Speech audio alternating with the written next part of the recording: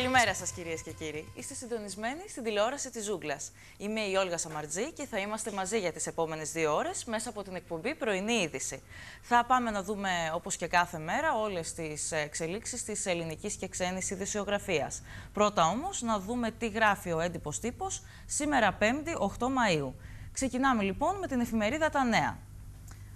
Διαβάζουμε στα νέα σήμερα το σοου της χρυσής αυγής. Όταν δεν έκλαιγε ο Μπούκουρας. Είναι ο τίτλος. Ξέχασε στη Βουλή τα κατορθώματά του με τα τάγματα εφόδου. Δάκρυσε στη Βουλή ο προφυλακισμένος βουλευτής Στάθης Μπούκουρας, δηλώνοντας πλήρη άγνοια για την εγκληματική δράση της Χρυσής Αυγής, ξεχνώντας τα ντοκουμέντα για τη δράση του με τα τάγματα εφόδου. Αποστάσεις πήρε ωστόσο και ο Αλεξόπουλος για το συγκεκριμένο θέμα. Αριστερά βλέπουμε την συνταγματική αναθεώρηση και τις 30 αλλαγές που προτείνει ο Σαμαράς. Μέσα από μια δέσμη 30 προτάσεων με κυριότερη την ε, εκλογή Προέδρου της Δημοκρατίας από τον λαό, ο Αντώνης Σαμαράς πρόσθεσε στο προεκλογικό οπλοστάσιο της Νέας Δημοκρατίας και τις ε, συνταγματικές ε, αλλαγές. Ενώ παρακάτω βλέπουμε μια φωτογραφία ε, η μέρα νίκης γράφει χαρακτηριστικά. Το γυναικείο τμήμα της σχολής Αστιφυλάκων εκκριμινάζεται για την μεγάλη παρέλαση της ημέρας της νίκης επί το Ναζί, που θα πραγματοποιηθεί αύριο στην Αγία Πετρούπολη. Ο Ρώσος Πρόεδρος κάλεσε χθες τους ε, ρωσόφωνους αυτονομιστές να αναβάλουν το δημοψήφισμα για την ανεξαρτησία της περιοχής του Ντόνεσκ. Του Ντονέσκ βλέπουμε ε, ενώ παρακάτω βλέπουμε για μια γενναία συνταγματική αναθεώρηση. Η διάτρητη θεσμή και η ανεπάρκεια του πολιτικού συστήματος συνετέλεσαν και πέραν της οικονομικής διαχείρισης στη δημιουργία του ελληνικού προβλήματος. Στην τελευταία συνταγματική αναθεώρηση, όριμες αλλαγές όπως η δυνατότητα ίδρυσης μη κρατικών πανεπιστημίων ή η ριζική αλλαγή του νόμου περί ευθύνης υπουργών δεν πέρασαν λόγω του ότι πριτάνευσε η μικροκομματική λογική και στις δύο περιπτώσεις όμως η Ελλάδα έχασε χρόνο, αλλά και την ευκαιρία να εξυγχρονίσει την ανώτατη εκπαίδευση για να καταπολεμήσει τη διαφθορά. Είναι λοιπόν σημαντικό ο Πρωθυπουργός να συμπεριέλαβε ε, αυτές τις ρυθμίσεις στις προτάσεις του για, τις για την αναθεώρηση του συντάγματος. Δεν είναι φυσικά όλες οι προτάσεις της Νέας Δημοκρατίας τόσο όριμες, ούτε και τόσο αυτονόητες. Για παράδειγμα, τυχόν απευθείας εκλογή του Προέδρου της Δημοκρατίας θα δημιουργούσε έναν επικίνδυνο, όπως ε, έχει ιστορικά αποδειχτεί, διεισμό στο πολιτικό μας σύστημα. Ένα είναι βέβαιο. Η Ελλάδα χρειάζεται μια γενναία συνταγματική αναθεώρηση μέσα από ουσιαστικό διάλογο, τον οποίο δεν θα υπηρετήσουν οι όποιες τυχόν προτάσεις εντυπωσιασμού. Αυτά λοιπόν, ενώ αριστερά βλέπουμε και ένα νέο από το χώρο της υγείας, η ιατρική επανάσταση γράφει χαρακτηριστικά, έφτιαξαν ανθρώπινη καρδιά σε εκτυπωτή. Ανθρώπινη καρδιά η οποία λειτουργεί κανονικά και μπορεί να μεταμοσχευθεί σε ασθενή με καρδιολογικά προβλήματα, εκτύπωσαν σε τρισδιάστατο εκτυπωτή επιστήμονες ε, στη ΣΥΠΑ. Αυτά λοιπόν και από τα νέα. Να περάσουμε τώρα στο έθνος όπου βλέπουμε το νέο τοπίο στην αγορά σε 40 περιοχές της Ελλάδας, ακίνητα σε τιμές δεκαετίας 80. Ευκαιρίες για κατοικίες ακόμα και με 100 ευρώ το μέτρο, πολιτήρια μέχρι 70% κάτω από τις αντικειμενικές αξίες. Η κρίση λοιπόν και η δυσβάχσταχτη φορολογία έχουν γυρίσει τις τιμές των ακινήτων στα επίπεδα της δεκαετίας του 80. Ακόμη και νεόδμητες κατοικίες σε συνοικίες και προάστια της Αθήνας και της Θεσσαλονίκης έφτασαν να πολλούνται στο κόστος κατασκευής τους βλέπουμε, ενώ παραπάνω η μάχη των βίντεο ξεκίνησε το σκληρό ροκ μεταξύ Νέας Δημοκρατίας και ΣΥΡΙΖΑ για τις εκλογές του 2014. Βλέπουμε, ενώ συνεχίζουμε παρακάτω και βλέπουμε το σχέδιο Περσεφόνη, διαστημική κυβωτός από την NASA, ούτως ώστε το ανθρώπινο είδος να μπορέσει να σωθεί από καταστροφή ταξιδεύοντας εκτός ηλιακού συστήματος αυτή η είδηση από την NASA, ενώ αριστερά ε, έχει το ένθετο παραπάνω για τις ε, ευνοϊκές ρυθμίσεις για 350.000 παλαιούς ασφαλισμένους. Ευκαιρίες για σύνταξη, λέει λοιπόν αυτό το ένθετο. Ε, και παρακάτω έχει για την άρση ασυλίας των τεσσάρων βουλευτών της χρυσής αυγής, όπου γράφει αποκηρύξεις, δάκρυα και απειλές μετανιωμένη Μπούκουρας, Αλεξόπουλος και απειλές ε, από Γερμενή. Έγιναν χθες από τη Χρυσή Αυγή στην ε, Βουλή. Περνάμε τώρα όμως στον ελεύθερο τύπο, όπου βλέπουμε ατζέντα μεταρρυθμίσεων από τον Αντώνη Σαμαρά. Χτίζουμε την Ελλάδα, την της ανάπτυξης και των ευκαιριών. 30 προτάσεις για το νέο σύνταγμα. Εκλογή Προέδρου Δημοκρατίας από τον λαό. Λειτουργία ιδιωτικών πανεπιστημίων, μείωση του αριθμού των βολευτών, αλλαγή του νόμου περί ευθύνης υπουργών, ενίσχυση της ανεξαρτησίας της ε, δικαιοσύνης, κανόνες για εργολάβους και προμηθευτές δημοσίου, δημοψηφίσματα και με λαϊκή πρωτοβουλία είναι μερικές από τις ε, προτάσεις ε, των μεταρρυθμίσεων του Αντώνη Σαμαρά. Με πολλές θυσίες αφήνουμε πίσω την εποχή των μνημονίων απέναντι στις δυνάμεις του λαϊκισμού και τους ε, νοσταλγούς του χθες, δηλώνει ο Πρωθυπουργός. Ε, ενώ παρακάτω βλέπουμε πως παγώνουν οι καταθέσεις έως το 2017 για 25.000 οφειλέτες του ΙΚΑ και του ΟΑΕ. Ενώ για τις φοιτητικές εκλογές συνεχίζουμε παρακάτω, νίκη ΔΑΠ με 42% στις φοιτητικές ε, εκλογές. Δεξιά βλέπουμε τις 35.000 θέσεις σε ιδιωτικές επιχειρήσεις μέσω ΑΕΔ, προσλήψεις ανέργων, με επιδότηση μισθού από 375 έως 600 ευρώ. Περιλαμβάνει και απαλλαγή ή επιδότηση ασφαλιστικών εισφορών έως 90%. Και παρακάτω έχει φυσικά για την ε, Χρυσή Αυγή που πρωταγωνίστησε χθες στο χώρο της πολιτικής με τους βουλευτές Μπούκουρας και Αλεξόπουλος κυρίως να δηλώνουν άγνοια και αποκηρύττουν ε, το κόμμα που είχαν ε, εκλεχτεί. Άρσια Ηλίας ψήφισε η Βουλή και για τους αμετανόητους Γερμενή και Μίχο. Αυτά και από τον ελεύθερο τύπο. Να περάσουμε τώρα να δούμε τι γράφει η καθημερινή. Ανατροπές στη λειτουργία του πολιτικού συστήματος. Ε, ο Σαμαράς δηλώνει για τη Νέα Ελλάδα δεν θα συμβιβαστώ ε, και παρουσίασε τις προτάσεις του για τη συνταγματική αναθεώρηση όπως διαβάσαμε και πριν, απευθείας εκλογή του Προέδρου της Δημοκρατίας από τον λαό, μείωση του αριθμού των βουλευτών, ασυμβίβαστο μεταξύ της ιδιότητας του Υπουργού και του Βουλευτή, καθώς και αλλαγή του νομικού πλαισίου για την ευθύνη των Υπουργών. Δέσμη θεσμικών παρεμβάσεων που έχουν ως στόχο την εκβάθρον αλλαγή του τρόπου λειτουργίας του πολιτικού συστήματος, με όχημα τη συνταγματική αναθεώρηση, παρουσίασε χθες ο Πρωθυπουργός Αντώνης Σαμαράς. Ο Πρωθυπουργός ανέδειξε ως επιδίωξη αντίστοιχη αυτής της αποκατάστασης της ε, δημοκρατίας του 1974 την παράλληλη αναπτυξιακή αναγέννηση της οικονομίας και την ε, συνταγματική αναθεώρηση. Μάλιστα, με ορίζοντα τις επερχόμενες ευρωεκλογές αλλά και τις εθνικές εκλογές, όποτε τελικώς διεξαχθούν, πρόσθεσε για τη Νέα Ελλάδα δεν θα συμβιβαστώ. Σας καλώ να μου δώσετε εντολή για να αλλάξουμε την Ελλάδα.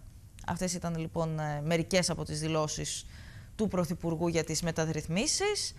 Ε, ενώ παρακάτω βλέπουμε μια φωτογραφία από την Νότια Αφρική, τεράστιες ουρές ε, εκλογέων στη συγκεκριμένη περιοχή. Οι ψηφοφόροι σχηματίζουν δεδαλώδη ουρά έξω από το σχολείο της Μαρικάνα στη Νότια Αφρική, όπου οι κάτοικοι ανέφεραν ότι περίμεναν χθες πάνω από 4 ώρες προκειμένου να ασκήσουν το εκλογικό τους δικαίωμα. Η νίκη του κόμματος ε, Αφρικανικό Κογκρέσο στην αναμέτρηση θεωρείται βέβαιη, όπως και η επανεκλογή του Τζέικομπ Ζούμα. Στο επίκεντρο λοιπόν των διεθνών της καθημερινής είναι οι εκλογές στη Νότια Αφρική. Σειρά έχει τώρα η εφημερίδα των συντακτών. Αραχνιάζουν μεγάλες υποθέσεις ενδεχόμενης φοροδιαφυγής. Πλούτος χωρίς έλεγχο, διαβάζουμε στην εφημερίδα των συντακτών. Offshore εταιρείες υπό έλεγχο, 6.575 ε, ελέγχθηκαν από αυτές οι τέσσερις. Από υποθέσεις μεγάλου πλούτου υπό έλεγχο οι 720 ελέγχθηκαν μόνο οι 59, ενώ από εμβάσματα εσωτερικού υπό έλεγχο που είναι 24.710, εκ των οποίων ελέγχθηκαν οι 31 οι 31 από αυτές. Την ώρα λοιπόν που το Υπουργείο Οικονομικών εξαντλεί την αυστηρότητά του στην ε, μαρίδα των φορολογουμένων στα συρτάρια των ελεκτικών μηχανισμών, αραχνιάζουν χιλιάδες περιπτώσεις υπόπτων για μεγάλη φοροδιαφυγή. Πρόκειται για υποθέσεις μεγάλου πλούτου εμβασμάτων που στάλθηκαν στο εξωτερικό και υπεράκτων, υπεράκτιων εταιριών. Οι έλεγχοι εκεί κινούνται με ρυθμούς χελώνας, ωστόσο. Ενώ κάτω δεξιά βλέπουμε τους δημόσιους υπαλλήλους που κόβουν αποζημιώσεις των απολυμένων. Ε, συνεχίζουμε με τις φοιτητικές εκλογές, την πτώση των κυβερνητικών βλέπουμε ενώ άνοδο της αριστεράς. Και στην αριστερή στήλη βλέπουμε τον Αλέξη Τσίπρο που δηλώνει ότι ακροτηριάζουν την ε, δημοκρατία. Ο Αντώνης Σαμαράς από την πλευρά του δηλώνει πριν τις εκλογές για μια νέα Ελλάδα. Ή για τη Χρυσή Αυγή ποιοι βουλευτές καταψήφισαν; Μέσα από μια κατάσταση που είχε κλάματα, ηρωνίες και χλεβασμούς, η Βουλή αποφάσισε την άρση ασυλίας ακόμα τεσσάρων βουλευτών της Χρυσής Αυγής. Άρνηση βουλευτών από Νέα Δημοκρατία Πασόκ, ανεξάρτητους Έλληνες και Δημάρ να ψηφίσουν υπέρ της άρσης. Ενώ παρακάτω βλέπουμε τον Δημήτρη Κουφοντίνα, όπου λέει η τραγική αλήθεια για τον υποβολέα. Με επιστολή του στην εφημερίδα των συντακτών, ο Δημήτρης Κουφοντίνας δείχνει ευθέως τον Αλέξανδρο Γιωτόπουλο ως υποβολέα και της ε, τελευταίας επιστολής του Βασίλη Τζορτζάτου. Ενώ για τα σπορ βλέπουμε παρακάτω φανατικός ακροδεξιός, ο κατηγορούμενος οπαδός της ε, Ρώμα, Ντανιέλε Ντεσάντης, τον βλέπουμε να ποζάρει μπροστά σε σύμβολο εθνικιστικής οργάνωσης, η οποία έχει ως ήρωα τον Μίκη Μάντακα, λίγο καιρό πριν πυροβολήσει τον φίλο της ε, Νάπολη. Και παρακάτω βλέπουμε το χτασέλιδο ένθετο για τις εκλογές που έχει σήμερα η εφημερίδα των συντακτών. Περνάμε τώρα στην ελευθεροτυπία, όπου βλέπουμε 65 δις ευρώ ληξιπρόθεσμες οφειλές στο δημόσιο. Πνιγόμαστε στα χρέη μας. 4,74 δις ευρώ τα φέσια του κράτους σε ιδιώτες. Κρεμάστηκε ομολογιούχος την ημέρα των γενεθλίων του, ενώ 3,5 δις ευρώ είναι τα νέα χρέη για το πρώτο τρίμηνο. Διαβάζουμε, ενώ παραπάνω ξέχασαν τον νόμο για το πολιτικό χρήμα. Προαπαιτούμενο για τη δόση του Ιουνίου αποτελεί η νομοθέτηση για το πολιτικό χρήμα, επισημαίνει η Δημάρ, που εγκαλεί την κυβέρνηση ότι εδώ και 7 μήνες αποφεύγει να εισάγει την ε, Ολομέλεια για συζήτηση σε, στο σχετικό νομοσχέδιο. Ε, παρακάτω βλέπουμε 10 μέρες πριν από το χαρτί της, της απόλυσης, μπροστά στο Υπουργείο Οικονομικών κατασκήνωσαν χθε οι καθαρίστριες, που τέθηκαν σε διαθεσιμότητα πριν από 8 μήνες. Το καθεστώς διαθεσιμότητας λήγει σε 10 μέρες και οι 595 καθαρίστριες ζητούν τη συμπαράσταση των πολιτών ε, στον αγώνα τους. Ενώ δεξιά βλέπουμε τον Λαυρόφ στην εφημερίδα τη, στην Ελευθεροτυπία, όπου λέει η Ευρωπαϊκή Ένωση παίζει με τη φωτιά. Ιδιαίτερα επικριτικός ο Ρώσος Υπουργός Οικονομικών για τις κινήσεις της Ευρωπαϊκής Ένωσης ε, και της ΣΥΠΑ στην Ουκρανία. Δεν λειτουργεί με αίσθημα δικαίου και σύνεση Ομπάμα, δήλωσε στην ε, δημοσιογράφο της ε, Ελευθεροτυπίας. Περνάμε τώρα στην ε, Δημοκρατία, όπου ο κεντρικός τίτλος είναι «Μας διέλυσαν», ε, αυτοκτόνησε ο 57χρονος ομολογιούχος που έχασε 300.000 ευρώ στο κούρεμα Βενιζέλου. Ο θρήνος της ε, συζύγου του, φωτιά για να τους κάψει, λέει, απαγωνίστηκε την παραμονή των γενεθλίων του έμπορος Ανσανσέρ στην ε, Θεσσαλονίκη. Διαβάζουμε ενώ παραπάνω ε, έχει για την υπόθεση της χρυσής αυγής και τις σκηνές που εκτελήχθηκαν χθες στη Βουλή, γράφοντας πρωτοφανείς σκηνές με δάκρυα, παγωμάρα και ηρωνίες στη Βουλή. Μπούκουρας, πείτε μου γιατί είμαι φυλακή, δήλωσε. Ε, το Πασόκ δήλωσε Πασόκ και βούρκωσε στο βήμα. Έξαλλος ο Κασιδιάρης με το απαγορευτικό για τους πολίτες. Ενώ για την άρση ασυλίας για τους τέσσερις βουλευτές χρυσής Αυγής γράφει σήμερα η Δημοκρατία για το ποιοι ψήφισαν όχι. Και παρακάτω βλέπουμε τα τρία και ένα προγράμματα για 35.500 ανέργους από τον ΟΑΕΔ. Ξεκινάει λοιπόν η επιδοτούμενη απασχόληση και κατάρτιση σε επιχειρήσεις κόστους 100 ε, εκατομμυρίων ε, ευρώ.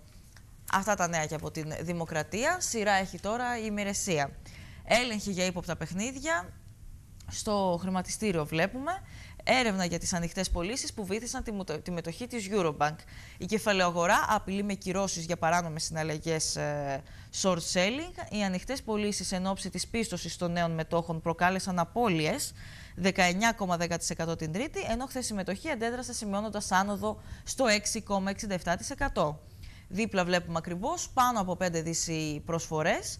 Υπερκαλύφθηκε η αύξηση της εθνικής. Μεγάλωσαν και οι μακροπρόθεσμοι επενδυτές, οι οποίοι δήλωσαν παρόν για αγορά μετοχών ε, της ΕΤΕ. Παραπάνω βλέπουμε την, την καθιέρωση ασυμβίβαστου για το αξίωμα του Υπουργού με εκείνο του βουλευτή πρόθυνε ο Πρωθυπουργός. Εκλογή Προέδρου Δημοκρατίας από τους πολίτες ήταν η πρόταση του Αντώνη Σαμαρά στο πλαίσιο της συνταγματικής αναθεώρησης. Ενώ παρακάτω βλέπουμε οδηγία του κύριου Προβόπουλου προς τις τράπεζες, όπου λέει οθήστε επιχειρήσεις να συγχωνευτούν. Πρόβλημα οι υπερχρεωμένες επιχειρήσεις που δεν εξυπηρετούν τα δάνειά τους. Λύση η δημιουργία ισχυρών ομίλων. Προτείνει λοιπόν ο κύριος ε, Προβόπουλος. Να περάσουμε όμως τώρα και στην Αυγή, όπου βλέπουμε ο Αλέξης Τσίπρας ήταν σε μια εντυπωσιακή συγκέντρωση στην Καλαμάτα, όπως γράφει χαρακτηριστικά η Αυγή, και συνεχίζει με νέο ξεκίνημα για την Ελλάδα. Οι μέρες του Σαμαρά, του Βενιζέλου, της Μέρκελ και του Φούχτελ τελειώνουν με την αριστερά στις, 20, στις 25 Μαΐου. Η χώρα τότε κάνει μια νέα αρχή. στις 18 και στις 25 Μαΐου. Ο λαός δεν γυρίζει απλώς σελίδα, αλλά γράφει πάλι όπως πάντοτε στις μεγάλες στιγμές της πατρίδας και του έθνους το δικό του βιβλίο. Η Ελλάδα θα κάνει μια νέα αρχή, τόνισε ο Αλέξης Τσίπρας σε μεγάλη σε μεγάλη συγκέντρωση του ΣΥΡΙΖΑ στην Καλαμάτα, επισημένοντας το διακύβευμα των επερχόμενων εκλογών.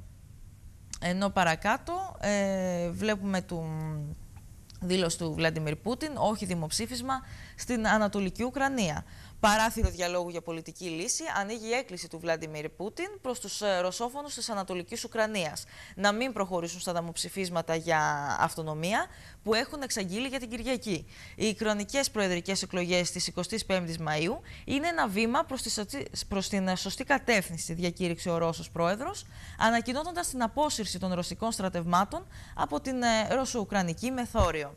Ενώ στη Συρία βλέπουμε έπεσε το προπύργιο των ανταρτών. Το βασικότερο ίσως σύμβολο της εξέγερσης κατά του Άσαντ έπεσε χθες στη Συρία. Καθώς, ύστερα από δύο χρόνια πολιορκίας, οι αντικαθεστωτικοί αντάρτες άρχισαν να εγκαταλείπουν την πόλη Χόμς. Η έναρξη της αποχώρησης πραγματοποιείται στο πλαίσιο συμφωνίας, στην οποία κατέληξαν οι εκπρόσωποι των ανταρτών και αξιωματούχων του στρατού με τη διαμεσολάβηση των Ηνωμένων Εθνών. Να περάσουμε τώρα στον Ρίζος Σπάστη όπου βλέπουμε καταργούν τις συλλογικές συμβάσεις των αυτεργατών. Με όλα τα μέσα στρώνουν το έδαφος για την υπογραφή επιχειρησιακών συμβάσεων.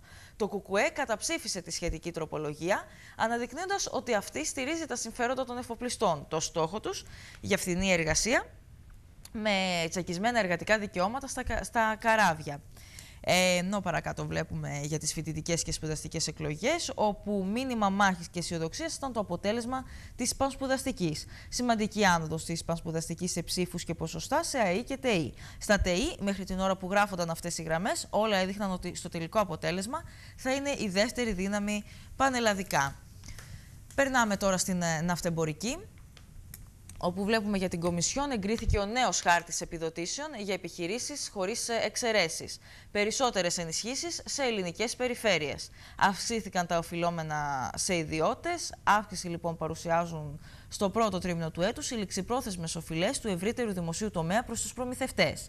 Σύμφωνα με τα στοιχεία του Υπουργείου Οικονομικών, το ύψος των χρεών της Γενικής Κυβέρνησης στο τέλος του Μαρτίου ανήλθε στα 4.740 εκατομμύρια ευρώ, μαζί με τις εκκρεμείς επιστροφές φόρων και συνολικές αφολές του δημοσίου προς τους ιδιώτες, οι οποίες ανήλθαν σε 5.199 εκατομμύρια ευρώ.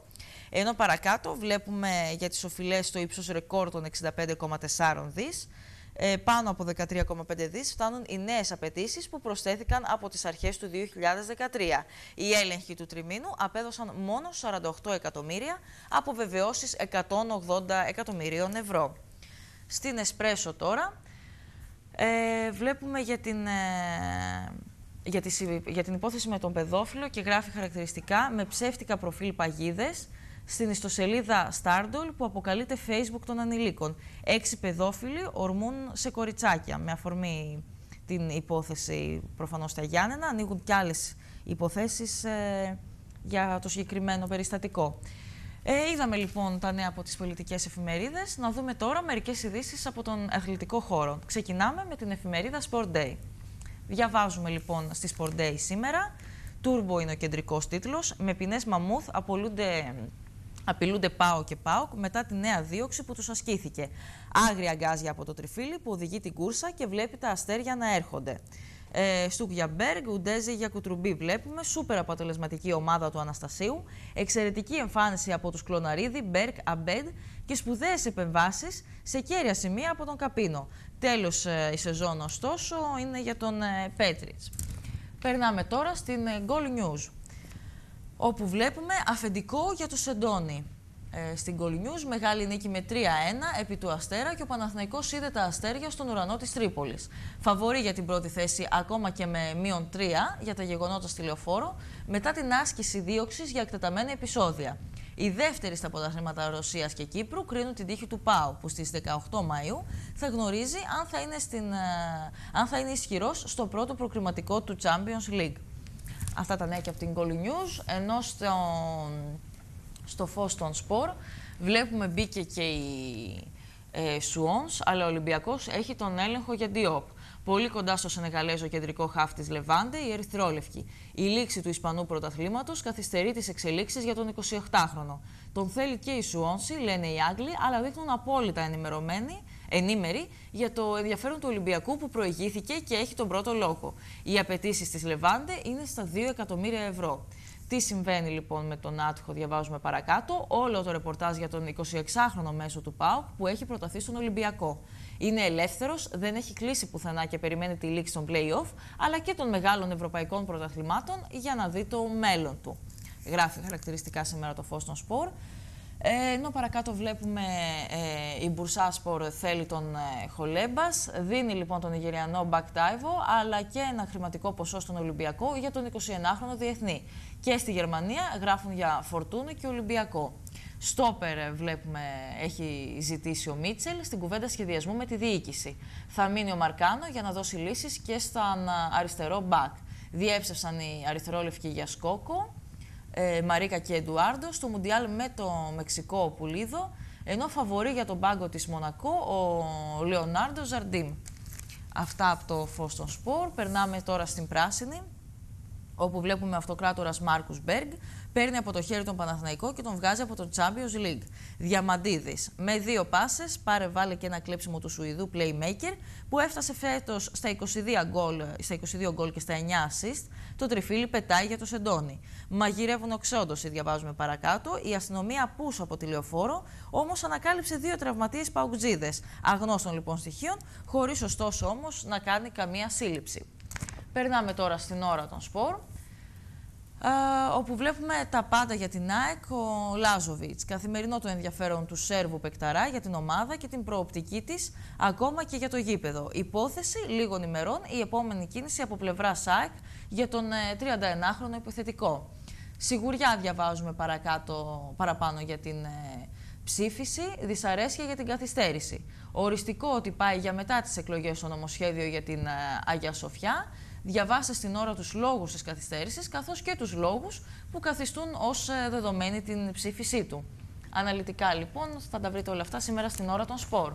Περνάμε στον πρωταθλητή, όπου βλέπουμε πάει για Μουντιάλ ο Άλαν και έρχεται, ενώ δίπλα βλέπουμε ο Μίστερ 71 γκολ. Ε, Χαβιγκέρα προτάθηκε στο θρύλο. Δίνει τα Ιβό και ζητάει χολεμπάς ε, η Μπούρσασπορ ενώ παραπάνω βλέπουμε δηλώσεις του Βαγγέλη Μαρινάκη, το δικό μας κόμμα είναι μόνο ο Πειραιάς. Ο Μίτσελ, απ' την άλλη, λέει αξίζει και ο Ρομπέρτο να πάει στη Βραζιλία. Τι είπε αναλυτικά για Ρεάλ και Θρύλο. Ενώ παρακάτω βλέπουμε με ένα τέρμα κάθε δύο αγώνες και 13 γκολ φέτος στην προεπιλογή για τον Ολυμπιακό. Ε, σούπερ αφιέρωμα διαθέτει σήμερα και ο πρωταθλητής για τον Διόπ, δύναμη και άλλα και άλμα τα όπλα του. Ποιος είναι ο Σενεγαλέζος; Ε, ένα προφίλ λοιπόν του συγκεκριμένου παίχτη. Μπορείτε να βρείτε σήμερα στον πρωταθλητή. Ενώ στο Γαύρο βλέπουμε τις δηλώσεις του Μαρινάκη, όπου λέει ονειρεύομαι ότι ο αθλητισμός του Πειραιά θα αρχίσει ξανά από τις γειτονιές. Και συνεχίζουμε. Μετά τον Μεξικανό έρχεται και ο Ντιόπ. Καλύπτει πλέον η διαφορά, καλύπτεται πλέον η διαφορά στο οικονομικό με Λεβάντε. Συμφωνία σε όλα με τον παίκτη. Ο συσχετισμός με Εντιγκά και που κολλάει μια βόμβα μπανέκα, μπελκάντα, ε, ή ο Κλέιτον Χαβιέ. Ενώ παρακάτω βλέπουμε, μου δείχνει εμπιστοσύνη ο πρόεδρος, το εγκόμιο του Βαγγέλη Μαρινάκη έπληξε ο Μίτσελ. Είναι ένας πανέξυπνος άνθρωπος που διεκεί στόλο 98 πλοίων. Είχα προτάσεις, αλλά ήθελα να συνεχίσω τη δουλειά μου στον Ολυμπιακό. Ο Ρομπέρτο μπορεί να παίξει στην Εθνική Ισπανίας, είναι εξαιρετικό σε όλα. Έκανα πρόταση συνεργασίας στην Ράφα Αλκόρτα, είπε για τον νέο του βοηθό. Αυτά λοιπόν και από τον Γαύρο.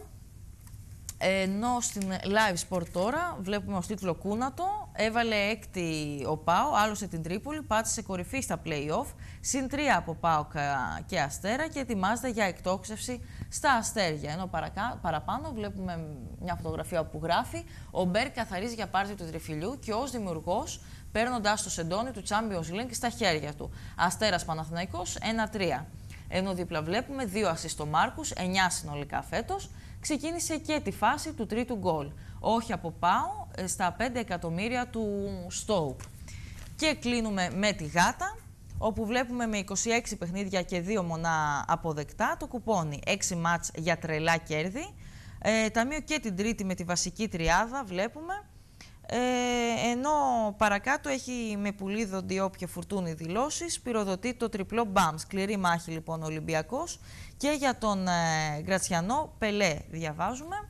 Είδαμε λοιπόν και τις αθλητικές ειδήσεις. Να δούμε τώρα μερικά από τα πρωτοσέλιδα που φιλοξενεί η ηλεκτρονική μας εφημερίδα zoogla.gr. Βλέπουμε λοιπόν στο πρώτο πρωτοσέλιδο για σήμερα πώς θα λάβουν το μέρισμα οι νέοι δικαιούχοι. Την Παρασκευή ξεκινούν οι πρώτες διαδικασίες, ε, οι πρώτες πληρωμές, στις οποίες θα καταβληθούν περισσότερα από 170 εκατομμύρια ευρώ. Ποιο είναι το, ποιο είναι το εισοδηματικό πλαφόν; Και ποιοι δικαιούχοι δεν θα καταθέσουν νέα αίτηση, μπορείτε να βρείτε αναλυτικά τα, να τα βρείτε αναλυτικά στο συγκεκριμένο πρωτοσέλιδο στο zoogla.gr. Συνεχίζουμε παρακάτω στο επόμενο. Βλέπουμε αποκαλύψει σοκ για τον επιχειρηματία. Συγκλονιστική κατάθεση της 14χρονης για το ροζ σκάνδαλο στην Κύπρο.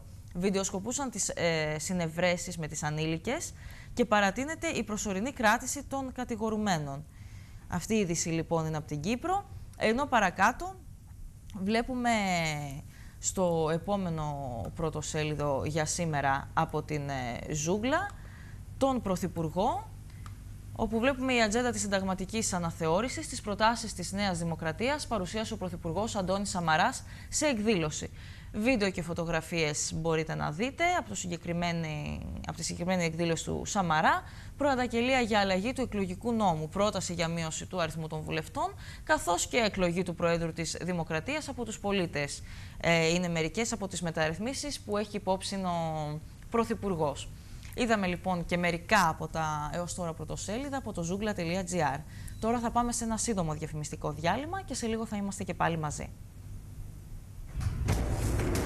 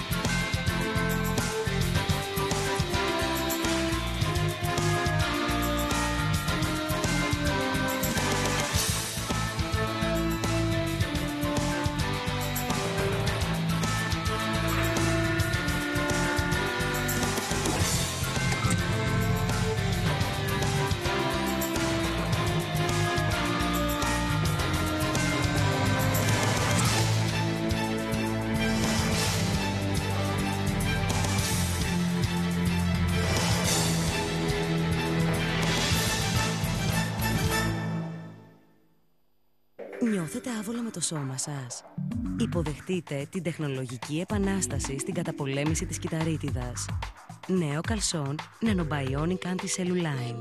Μετατρέπει τη θερμική ενέργεια που εκπέμπει το ανθρώπινο σώμα σε άπο υπέρυθρες ακτίνες και τις επιστρέφει πίσω σε αυτό. Αποτέλεσμα, μείωση της εμφάνισης της κυταρίτιδας, λία και καλή γραμμή εμφάνιση. Αγαπήστε ξανά το σώμα σας με το νέο καλσόν Nanobionic Anti-Celluline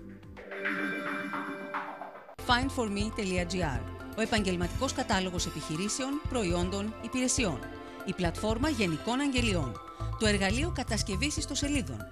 Διαφημίστε τα προϊόντα και τις υπηρεσίες σας. Εποφεληθείτε από τις καινοτόμες υπηρεσίες που προσφέρουμε, καθώς εάν μέχρι τώρα δεν έχετε αποκτήσει δική σας ιστοσελίδα, τώρα πλέον μπορείτε, μέσω της πλατφόρμας findforme.gr. findforme.gr, η νέα πολυκάναλη πλατφόρμα του zoongla.gr.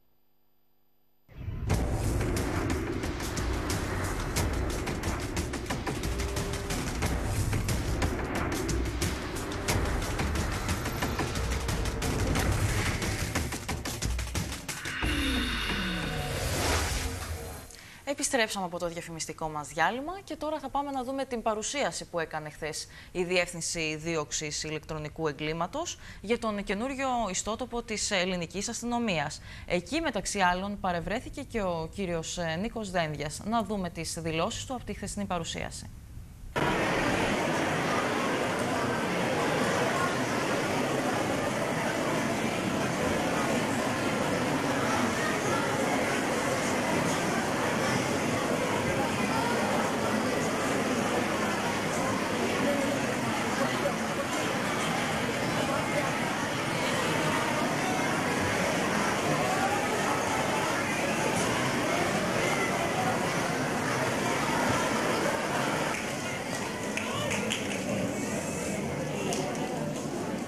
Καταρχήν καλημέρες ε, και από το μικροφόνο στα παιδιά και αν με επιτρέπουν και οι κυρίες και κύριοι εκπαιδευτικοί τις καλημέρες μου και τις θερμές ευχαριστίες και για την παρουσία τους εδώ αλλά για τη μεγάλη βοήθεια και για την εκδήλωση και για τη συνολικά για την εκπαίδευση των παιδιών μας.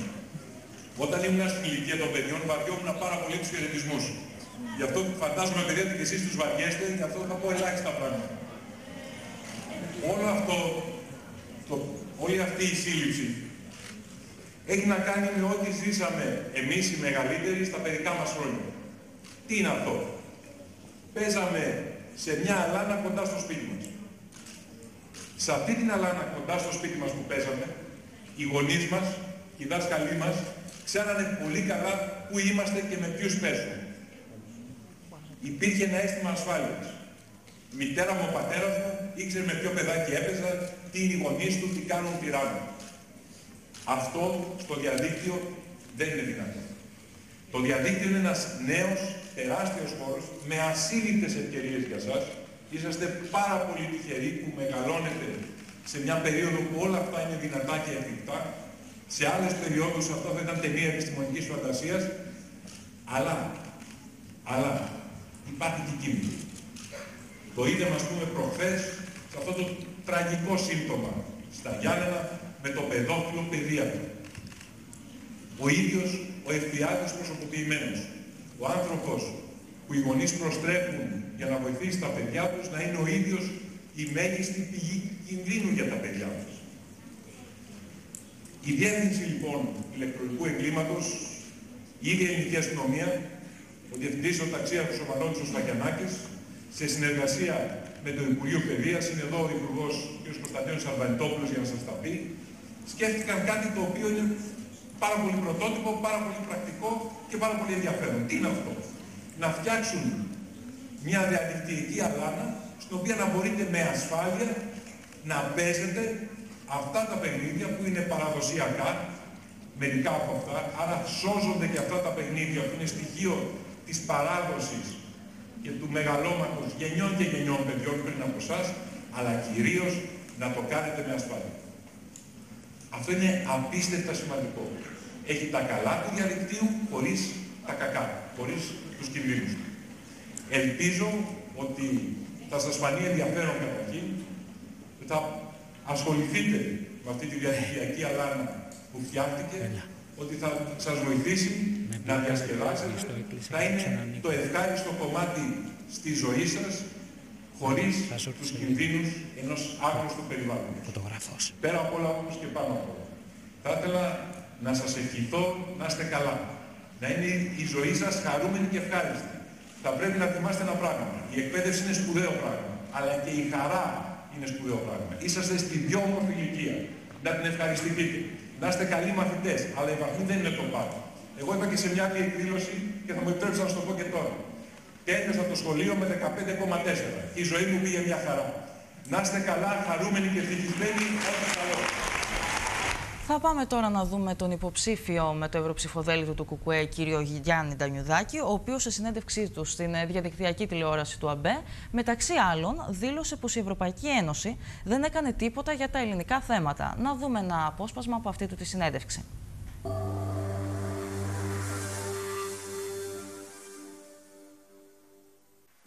Καλωσορίζουμε στην διαδικτυακή τηλεόραση του Αθηναϊκού Μακεδονικού Πρακτορείου Ειδήσεων, του Εθνικού Πρακτορείου Ειδήσεων, τον υπονάβαρχο εναποστρατεία κ. Γιάννη Ντουνιαδάκη, υποψήφιο ευρωβουλευτή με το ΚΚΕ. Και η πρώτη ερώτηση που θέλουμε να σας απευθύνουμε είναι γιατί τώρα με το ΚΚΕ.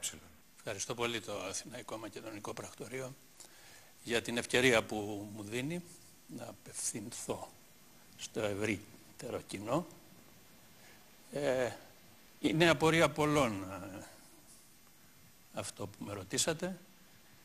Ε, να πω καταρχήν να ξεκαθαρίσω ότι είμαι συνεργαζόμενος στο Ευρωψηφοδέλτιο του ΚΚΕ. Μου έγινε, θεωρώ, μια μεγάλη τιμή από το Κομμουνιστικό Κόμμα να με καλέσει σε αυτή τη... να συμπορευτούμε στις εκλογές για το Ευρωκοινοβούλιο. Μια τιμή που θεωρώ ότι είναι απευθύνεται και στους συναδέλφους, όχι μόνο στο πρόσωπό μου, αλλά και στους συναδέλφους αυτούς που θα λέγαμε δημοκράτες, ε, γνήσιους πατριώτες, ε, αξιωματικούς και υποαξιωματικούς που προέρχονται από τις ένοπλες δυνάμεις. Το γιατί. Ε, καταρχήν θα... αυτό που βάρινε είναι ότι πρόκειται για ένα κόμμα γνήσια πραγματικά πατριωτικό. Ανθρωποί του έχουν αγωνιστεί, ε, βασανιστεί, εξοριστεί κτλ. Είναι γνωστά και κατά τη διάρκεια της Χούντας και, κατά τη... και σήκωσαν ένα μεγάλο βάρος από την εθνική αντίσταση ε, του ελληνικού λαού απέναντι στον ναζισμό. Δύο περιόδους που κάποιοι άλλοι υπερπατριώτες θα έλεγα ε, είναι τουλάχιστον θειασότες. Και λέω καθαρά για τη Χρυσή Αυγή. Και κάνω το διαχωρισμό αυτό το γνήσιο πατριωτικό κόμμα και ένα άλλο που θέλει να περνιέται για γνήσιο, για πατριωτικό, αλλά δεν είναι. Ένας λόγος λοιπόν είναι αυτό ότι η πρόσκληση προέρχεται από ένα πατριωτικό κόμμα, από ένα κόμμα που ενώ προσπάθησαν κάποιοι να θίξουν την ε, ηθική του υπόσταση απέτυχαν, δεν έχει αποδειχτεί τίποτα εις βάρος του και ένας ακόμα λόγος, ο βασικότερος, ε, μιλώντας για τις ευρωεκλογές, ότι είναι το κόμμα που από την αρχή είναι αντίθετο, ήταν αντίθετο ε, με την Ευρωπαϊκή Ένωση, τη, με την ένταξη της χώρας στην ΕΟΚ τότε, συνέχισε στις άλλες ε, μεγάλες αλλαγές της ΕΟΚ που έγινε Ευρωπαϊκή Ένωση, που απέκτησε στρατιωτικό βραχίωνα κτλ. Ήταν πάντα αντίθετο, θα έλεγα το μοναδικό κόμμα αντίθετο προς την Ευρωπαϊκή Ένωση. Και θεωρώ ότι τώρα αυτή την εποχή ε, που ζούμε επαληθεύτηκε αυτή η πολιτική του, αυτή του η, η στάση απέναντι στην Ευρωπαϊκή Ένωση, θα έλεγα όμως τραγικά επαληθεύτηκε με τραγικό τρόπο, ε, το ζούμε, χιλιάδες οι άνεργοι, οι άστεγοι και όλα αυτά που ζει ο ελληνικός λαός και οι άλλοι λαοί της Ευρώπης. Αυτή, εν συντομία, είναι οι βασικοί λόγοι που με οδήγησαν να δεχτώ την πρόσκληση. Πιάνομαι από την τελευταία φράση σας, αυτό το με τραγικό τρόπο, οι άνεργοι, οι άστεγοι, οι φτωχοί. Και ήθελα να ρωτήσω, ε, επειδή εσείς έχετε και γνώση βεβαίως, ότι οι ένοπλες δυνάμεις τελικά είναι ένας, οι άνθρωποι που είναι, οι ένοπλες δυνάμεις είναι άνθρωποι. Είναι ένας προνομιακός χώρος, είναι ένας χώρος που δεν τον έχει αγγίξει η κρίση και όλα αυτά. Αντίθετα. Ε, τα στελέχη των ενόπλων δυνάμεων καταρχήν ξέρουμε ότι δεν έχουν φωνή, ε, να το πω έτσι σχηματικά. Δεν συνδικαλίζονται, δεν επιτρέπεται. Λοιπόν, ε, ανεξάρτητα πώς κατά καιρούς ε, πλασάρονται διάφορα πληροφορίες, οι στρατιωτικοί υπέστησαν πολύ περισσότερα θεωρούμε, από ότι άλλες ε, κατηγορίες. Ε, πολύ περισσότερα. Είναι λίγο δύσκολο να το λέμε, γιατί ο λαός βιώνει ανεργίες, όπως είπαμε, βιώνει χίλια δυο, αλλά στρατιωτική, ας το πούμε, οι απόστρατοι, οι συνταξιούχοι εμείς, ε, υποστήκαμε περικοπές μέχρι και 60-70% στους μισθούς. Χώρια όλα τα άλλα. Που βιώνουμε όπως βιώνει και ο υπόλοιπος ελληνικός λαός. Ε, τα φάρμακα, τις συνταγές που πρέπει να πληρώνουμε, το αν πάμε στο νοσοκομείο έχει είσοδο, όλα αυτά. Ε, ακόμα και το Συμβούλιο της Επικρατείας τελευταία από δημοσιογραφικές πληροφορίες ε, φαίνεται να δικαιώνει ε, αιτήματα των ε, στρατιωτικών από λάθη, από διπλή, ας το πούμε, διπλές περικοπές που έκανε η, η κυβέρνηση εις βάρος τους.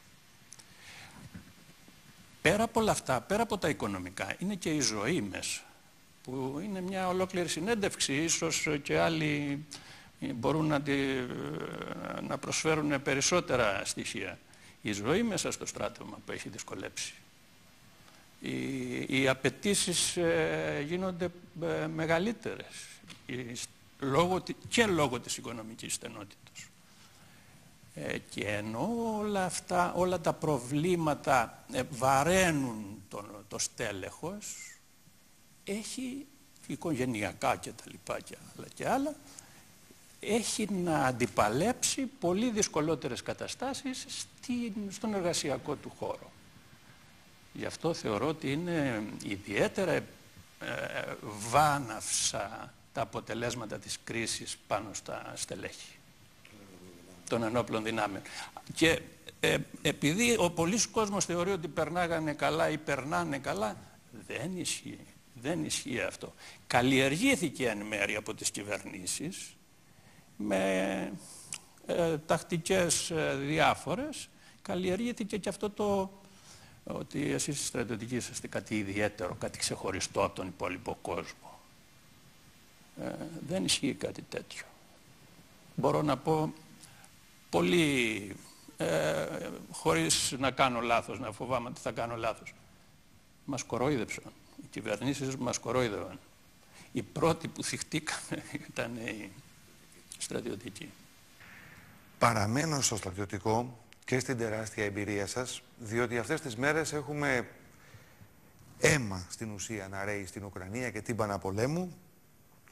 Έχουμε ανοιχτά μέτωπα σε όλο τον κόσμο με την ενεργό συμμετοχή και της Ευρωπαϊκής Ένωσης.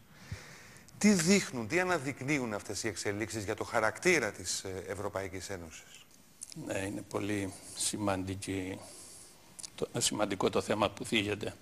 Μας έλεγαν κάποτε ότι η Ευρωπαϊκή Ένωση ε, θα τρώγαμε με χρυσά κουτάλια στην Ευρωπαϊκή Ένωση. Επίσης μας έλεγαν, και αντιδρούσε το ΚΚΕ, ήταν το μόνο που αντιδρούσε.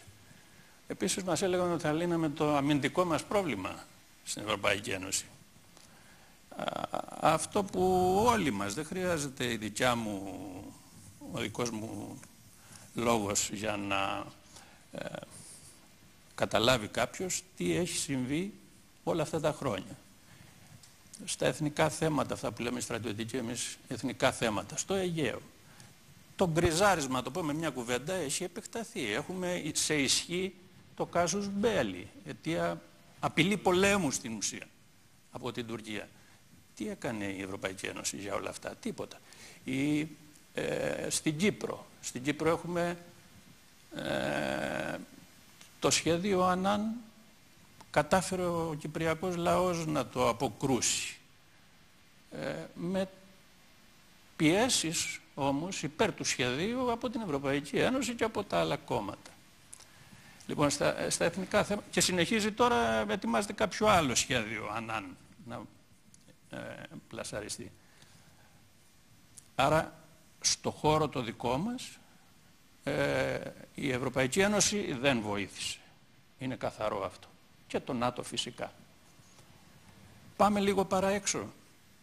Όπως είπατε στην Ουκρανία, πώς ξεκίνησε η υπόθεση της ε, Ουκρανίας; Είναι, αμφιβάλλει κανείς ότι είναι δάκτυλος, ας το πούμε, χέρι της Ευρωπαϊκής Ένωσης; Δεν διστάσανε να χρησιμοποιήσουν τους Ναζί της περιοχής για να ξεκινήσουν αυτό που έχει ξεκινήσει για να ρίξουν μια κυβέρνηση που δεν ήταν αρεστή. Και έχουμε φτάσει σε αυτό το σημείο τώρα. Άρα βλέπουμε μια διαδρομή στο, με το, στο παράδειγμα της Ουκρανίας.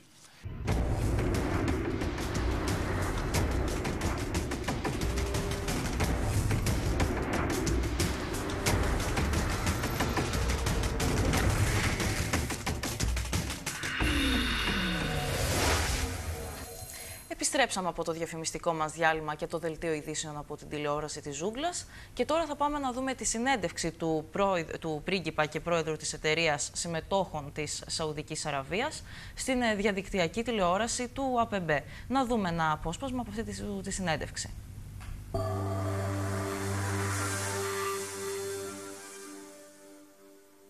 Your Highness, uh, welcome to the web TV of Athens News Agency, the national news agency. Would you like to comment uh, your contacts here in Greece and especially with the Prime Minister? Yes, we, uh, I, this is my second visit to the Prime Minister.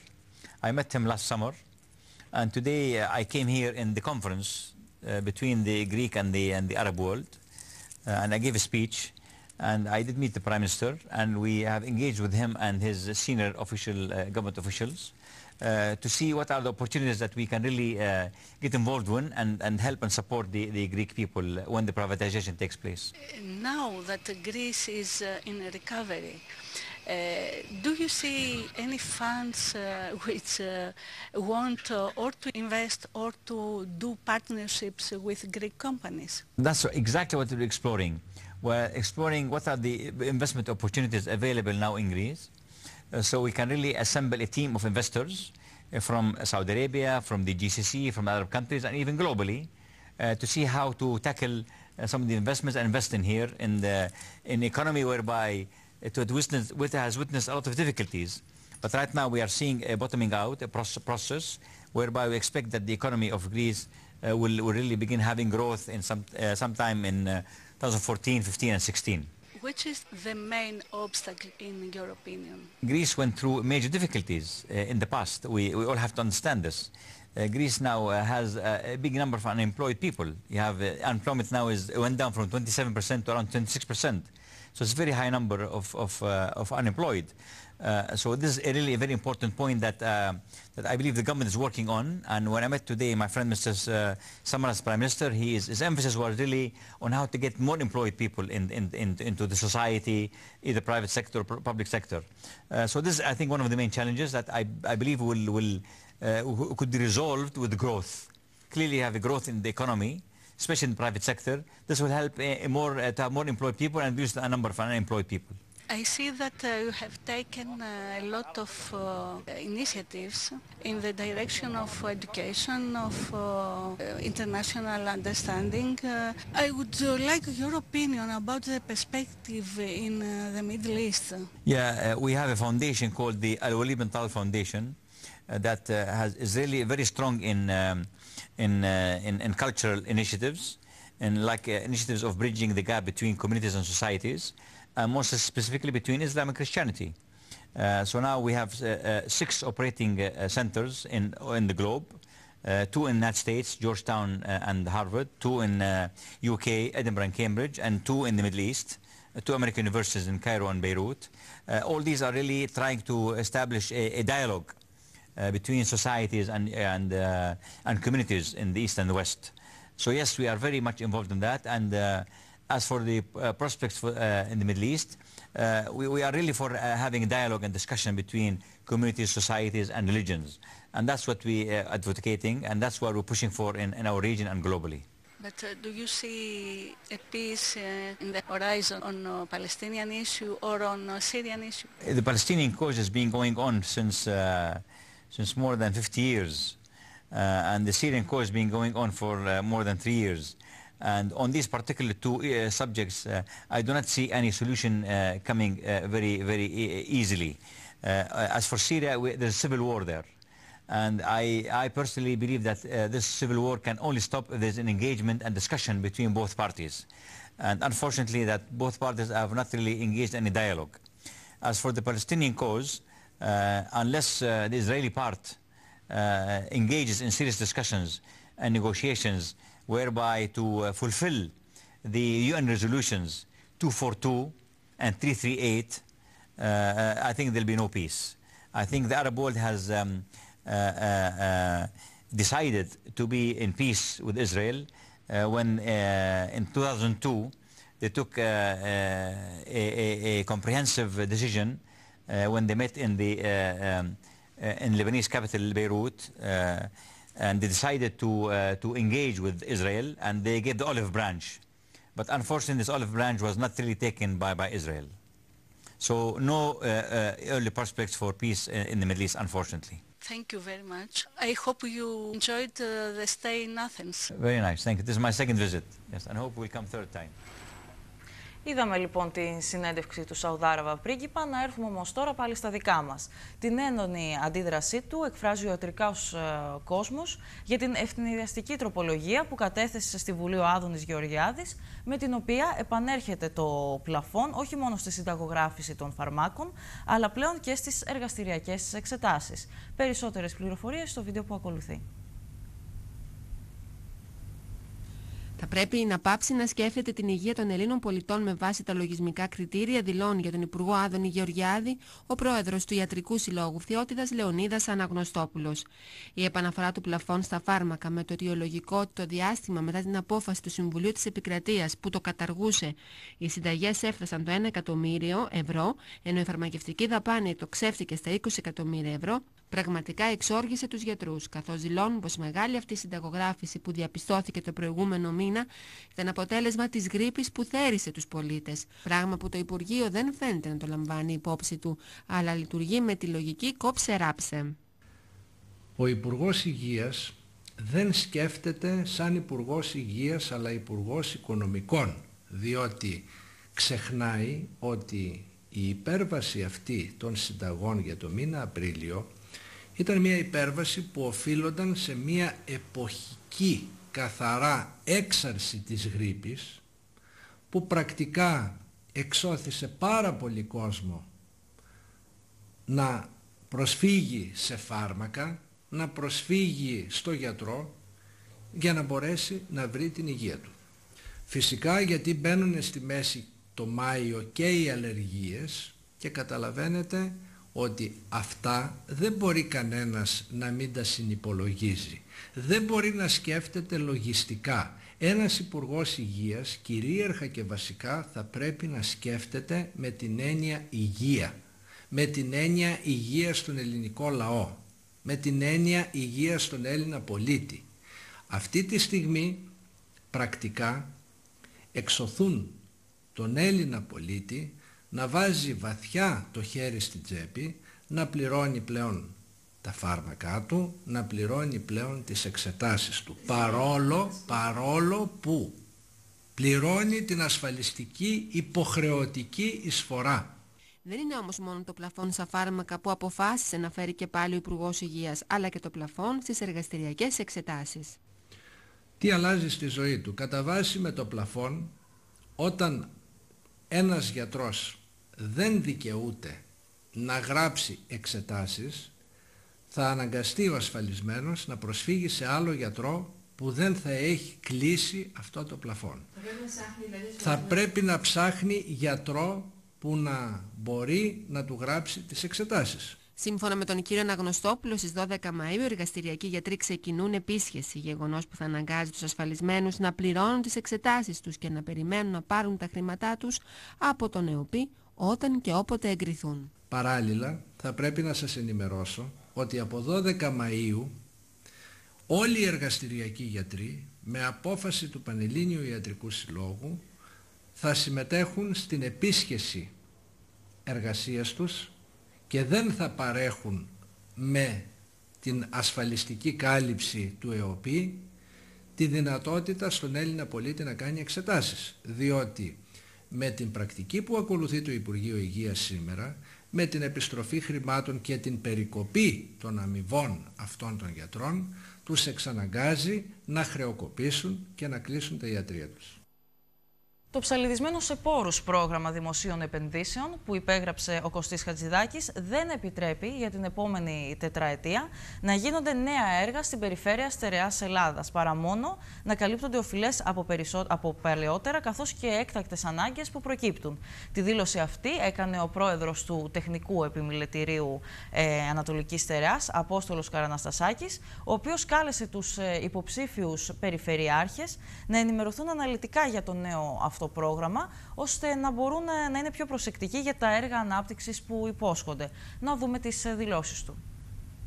Ψίχουλα προβλέπει το πρόγραμμα δημοσίων επενδύσεων της επόμενης τετραετίας για την στερεά Ελλάδα. Ο πρόεδρος του ΤΕ Ανατολικής Στερεάς Αποστόλης Καραναστάσης παρουσιάζει τη νέα οικονομική πραγματικότητα που θα διαμορφωθεί για την περιφέρεια, εκθέτοντας τον προβληματισμό του. Εάν δηλαδή οι υπεύθυνοι έχουν αντιληφθεί τι προβλέπει συγκεκριμένα η νέα εγκύκλειος για όλη την Στερεά. Όσοι παρακολουθούν εδώ και αρκετά χρόνια την πορεία υλοποίησης του προγράμματος δημοσίων επενδύσεων, θα έχουν αντιληφθεί ότι από ένα ποσό της τάξης κάποια στιγμή είχε φτάσει 10-11 δις ετησίως, ε, τώρα τελευταία έχει συρρυκνωθεί στα 4-5 δις το πρόγραμμα δημοσίων επενδύσεων. Ε, δυστυχώς α, και φαίνεται και στην πραγματικότητα ότι με μια καινούργια εγκύκλιο την οποία έστειλε και νομίζω ο κύριος Χατζηδάκης πριν 10 μέρες την οποία δεν την έχουν αντιληφθεί όλοι, το τι μας περιμένει μέχρι το 2017 μέσα από την ψήφιση του μεσοπρόθεσμου, όπου προβλέπεται, για να πω ένα παράδειγμα, ότι για την επόμενη περίοδο, για τα τέσσερα αυτά χρόνια, για την περιφέρεια Στερεάς Ελλάδος, το πρόγραμμα δημοσίων επενδύσεων ε, θα αγγίξει τα 18 εκατομμύρια, ε, τα 32 εκατομμύρια, λάθος. Τα 32 εκατομμύρια, δηλαδή ε, ετησίως περίπου στα 8 εκατομμύρια για όλη την περιφέρεια στερεάς Ελλάδος, το πρόγραμμα δημοσίων επενδύσεων. Ο προγραμματισμός του κράτους είναι τα 6,5 δισεκατομμύρια ευρώ που προβλέπονται να δαπανηθούν σε οφειλές παλαιών έργων και επειδή αδυνατεί να τα εξοφλήσει το κράτος άμεσα δίνει ένα βάθος 9 ετών. Ε, θέλω να πω ότι αυτά τα χρήματα σε καμιά περίπτωση ε, δεν φτάνουν να αποπληρώσουν παλαιές οφειλές γιατί όπως ξέρουμε εμείς έχουμε κάνει μια... υπάρχουν και αλχημίες όσον αφορά με την ε, υπερένταξη έργων α, και έργα τα οποία χωρίς να υπάρχουν χρήματα δημοπρατούμε ε, χωρίς να υπάρχουν προϋποθέσεις στο να βρεθούν αυτά τα χρήματα. Είναι περίεργο πως κάποιοι δεν το έχουν διαβάσει και το αναφέρει αυτό μέσα στην εγκύκλη ο κύριος Χατζηδάκης ότι αυτή τη στιγμή για το πρόγραμμα δημοσίων επενδύσεων υπάρχουν οφειλές για τα έργα σε όλη την Ελλάδα 6,5 δις. Οι δυνατότητες από το κράτος μέσα από το πρόγραμμα δημοσίων επενδύσεων είναι να τους πληρώνουν με 700 εκατομμύρια το χρόνο. Δηλαδή για τα έργα όλα τα παλιά θα πρέπει να περάσουν 9 χρόνια για να μπορέσουν να αποπληρωθούν οι παλιές οφειλές. Μπορείτε να φανταστείτε λοιπόν τώρα για το πρόγραμμα δημοσίων επενδύσεων αν μπορούν να ενταχθούν νέα έργα και ποια θα είναι αυτά τα νέα έργα όταν... Από το ΕΣΠΑ 2 τα χρήματα για τη στερεά είναι περίπου 5 εκατομμύρια ευρώ. Ελάχιστα δηλαδή. Ο Αποστόλης Καραναστάσης καλεί τους υποψηφίους περιφερειάρχες να δουν όλα αυτά ώστε να είναι πιο προσεκτικοί στις δηλώσεις τους όταν μιλάνε για ανάπτυξη και για έργα. Ότι το ΕΣΠΑ 2 να το πω έτσι ή το ΣΕΣ που λένε το 2014-2020 τα χρήματα τα οποία θα δοθούν στην περιφέρεια για υποδομές, ζήτημα, στη δικιά μας, ζήτημα να είναι 4-5 εκατομμύρια. Άρα θέλω να πω λοιπόν ότι θα πρέπει να είμαστε πάρα πολύ προσεκτικοί και αυτοί οι οποίοι βγαίνουν και συζητούν ότι εδώ κάποια στιγμή θα γίνουν τα τεράστια και τα μεγάλα έργα, θέλω να πω να είμαστε πάρα πολύ προσεκτικοί και πρέπει όλοι μαζί να εντείνουμε τις προσπάθειές μας έτσι ώστε το πρόγραμμα αυτό να μεγαλώσει γιατί όταν θέλεις να λειτουργήσεις με 8 εκατομμύρια το χρόνο είναι σίγουρο ότι δεν θα εντάξεις νέα έργα και είναι βέβαιο ότι δεν θα μπορέσεις να πληρώσεις και τις οφειλές τις οποίες έχουμε μέχρι σήμερα. Άρα πρέπει νομίζω αυτό το θέμα να συζητηθεί πάρα πολύ σοβαρά και να το έχουν υπόψη τους όλοι οι υποψήφοι περιφερειάρχες για την επόμενη προγραμματική περίοδο. Στο μικροσκόπιο του Υπουργείου Παιδείας βρίσκεται τώρα και η ειδική αγωγή. Σειρά συναντήσεων και ανταλλαγή κειμένων με όλους τους συλλόγους δασκάλων της χώρας οργανώνει η Διδασκαλική Ομοσπονδία Ελλάδας αναφορικά με το σχέδιο νόμου για την ειδική αγωγή που έχει καταθέσει η διαβούλευση στην ε, Υπουργείο Παιδείας. Περισσότερες πληροφορίες στο βίντεο που ακολουθεί. Μετά την κατάθεση από πλευράς Υπουργείου Παιδείας, μόλις τη Μεγάλη Τετάρτη 16 Απριλίου, σχεδίου νόμου προς διαβούλευση για την ειδική αγωγή, σύλλογοι διδασκόντων σε όλη τη χώρα υπό την σκέπη της Διδασκαλικής Ομοσπονδίας προχωρούν σε ενημερωτικές συνελεύσεις όπως χτες στην πόλη της Χαλκίδας για την καταγραφή των απόψεων όλων των εμπλεκόμενων φορέων του χώρου της εκπαίδευσης, έτσι ώστε μετά από σειρά συναντήσεων και ανταλλαγής κειμένων να κατατεθεί μια ολοκληρωμένη σειρά προτάσεων. Το Διοικητικό Συμβούλιο του Συλλόγου Δασκάλων Διαγών Χαλκίδας με αφορμή το νομοσχέδιο για την ειδική αγωγή ε, και με αφορμή αυτά που είδαμε να κατατίθονται, αποφασίσαμε να κάνουμε αυτή τη συγκέντρωση, καταρχήν για να σας ενημερώσουμε ε, μέσω του Σταύρου του Πετράκη, του Ειδικού Γραμματέα της ΔΟΕ, ε, για το τι γίνεται αυτή τη στιγμή και τι κλίμα επικρατεί ε, και ένας δεύτερος λόγος να ακούσουμε εσάς, να καταγράψουμε τις δικές σας προτάσεις για να μπορέσουμε να παρέμβουμε ε, όσο μπορούμε στη διαμόρφωση αυτού του πλαίσιου ε, που θα μπει για την ειδική αγωγή. Υπάρχει σε διαβούλευση σχέδιο νόμου για την ειδική αγωγή, το οποίο περιλαμβάνει αρκετά άρθρα. Το, εκείνο το, με το οποίο θα πρέπει να ξεκινήσω είναι το γεγονός ότι δεν έχει υπάρξει κανένας διάλογος με την εκπαιδευτική κοινότητα όπως είχε δεσμευτεί σε συναντήσεις με την Δασκαλική Ομοσπονδία ο κ. Σαρβανιτόπουλος. Θεωρούμε ότι το σχέδιο νόμου έχει αρκετά σημεία τα οποία, πολλά θα έλεγα, τα οποία χρειάζονται ε, βελτίωση, αλλαγές. Αυτά δεν μπορούν να γίνουν στο πόδι. Ε, θα πρέπει να δοθεί ο χρόνος ώστε να γίνει ένας ουσιαστικός διάλογος γιατί δεν είναι μόνο εκπαιδευτικό θέμα. Είναι ένα θέμα που αφορά ολόκληρη την κοινωνία και τις οικογένειες αυτών των μαθητών και ένα ευαίσθητο μαθητικό ε, και κοινωνικό δυναμικό. Ο ειδικός γραμματέας της ΔΟΕ Σταύρος Πετράκης χωρίς να απαξιώνει τα θετικά σημεία του σχεδίου τα οποία και διευκρινίζει ότι θα πρέπει να ενισχυθούν εστιάζει στα πλέον ακανθώδη που καθιστούν τη διεύρυνση της διαβούλευσης επιβεβλημένη. Είναι πάρα πολλά τα άρθρα τα οποία χρειάζονται αλλαγή. Ένα πολύ σημαντικό που εμείς ε, διαφωνούμε είναι το γεγονός ότι όπου υπάρχουν τμήματα ένταξης και ειδικά σχολεία, το σχέδιο νόμου λέει ότι δεν θα υπάρχει παράλληλη στήριξη, δηλαδή ε, ειδικοί εκπαιδευτικοί, οι οποίοι θα στηρίζουν μόνο τους συγκεκριμένο μαθητή. Αυτό είναι κάτι που μας βρίσκει αντίθετους, όπως επίσης αντίθετος μας βρίσκει το γεγονός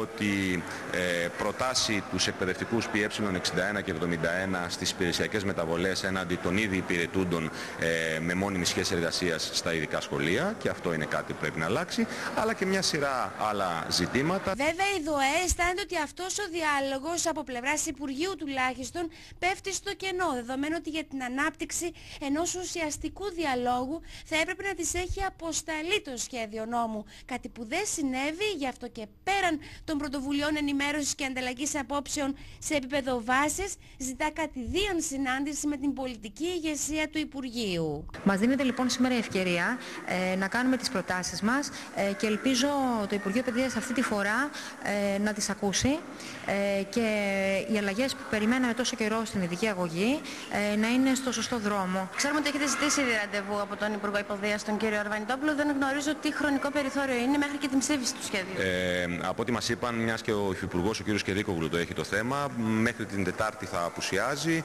Από εκεί και πέρα θέλω να πιστεύω ότι θα δεχτεί τη Διδασκαλική Ομοσπονδία για να συζητήσουμε.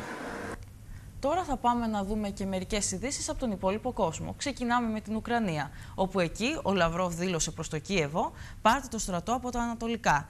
Η λύση στην ε, κρίση της Ουκρανίας θα προκύψει μέσα από τον εθνικό διάλογο, τόνισε από τη Βιέννη ο Σιέργεϊ Λαυρόφ και κάλεσε το Κίεβο να απομακρύνει το στρατό του από την Ανατολική Ουκρανία.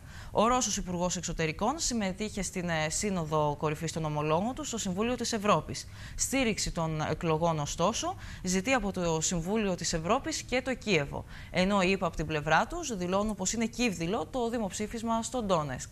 Να δούμε όμως τα σχετικό βίντεο από το Euronews. Η λύση στην κρίση της Ουκρανίας θα προκύψει μέσα από εθνικό διάλογο, τόνισε από τη Βιέννη ο Σεργέη Λαυρόφ και κάλεσε το Κίεβο να απομακρύνει το στρατό του από την Ανατολική Ουκρανία. Ο Ρώσος Υπουργός Εξωτερικών συμμετείχε στη Σύνοδο των Ομολόγων του στο Συμβούλιο της Ευρώπης.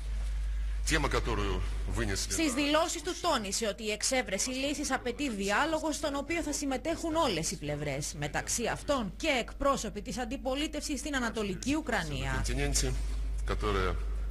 Τόνισε επίσης πως στη χώρα παρατηρείται έλλειμμα σεβασμού των ανθρωπίνων δικαιωμάτων, ενώ μίλησε ξεκάθαρα και για φαινόμενα ναζισμού. Ο Σεργέη Λαυρόφ κάλεσε το Κίεβο να προχωρήσει στη συνταγματική αναθεώρηση πριν τις προεδρικές εκλογές, που έχουν προγραμματιστεί για τις 25 Μαΐου. Η κρίση στην Ουκρανία βρέθηκε στο επίκεντρο της Συνόδου του Συμβουλίου της Ευρώπης στη Βιέννη με τη συμμετοχή 30 Υπουργών Εξωτερικών. Ο επικεφαλής της ρωσικής διπλωματίας Σεργέη Λαυρόφ χαρακτήρισε ασυνήθιστο το γεγονός το Κίεβο να ετοιμάζεται για προεδρικές εκλογές και την ίδια ώρα η κυβέρνηση να αναπτύσσει στρατό εναντίον ορισμένων πολιτών της χώρας. Οι Ουκρανοί πρέπει να σεβαστούν τις συμφωνίες, ενώ τόσο το καθεστώς όσο και την αντιπολίτευση, στη βάση της ισότητας και του αμοιβαίου σεβασμού, πρέπει να συντονίσουν τα μέτρα που απαιτούνται για να υλοποιήσουν τη συμφωνία της Γενέβης.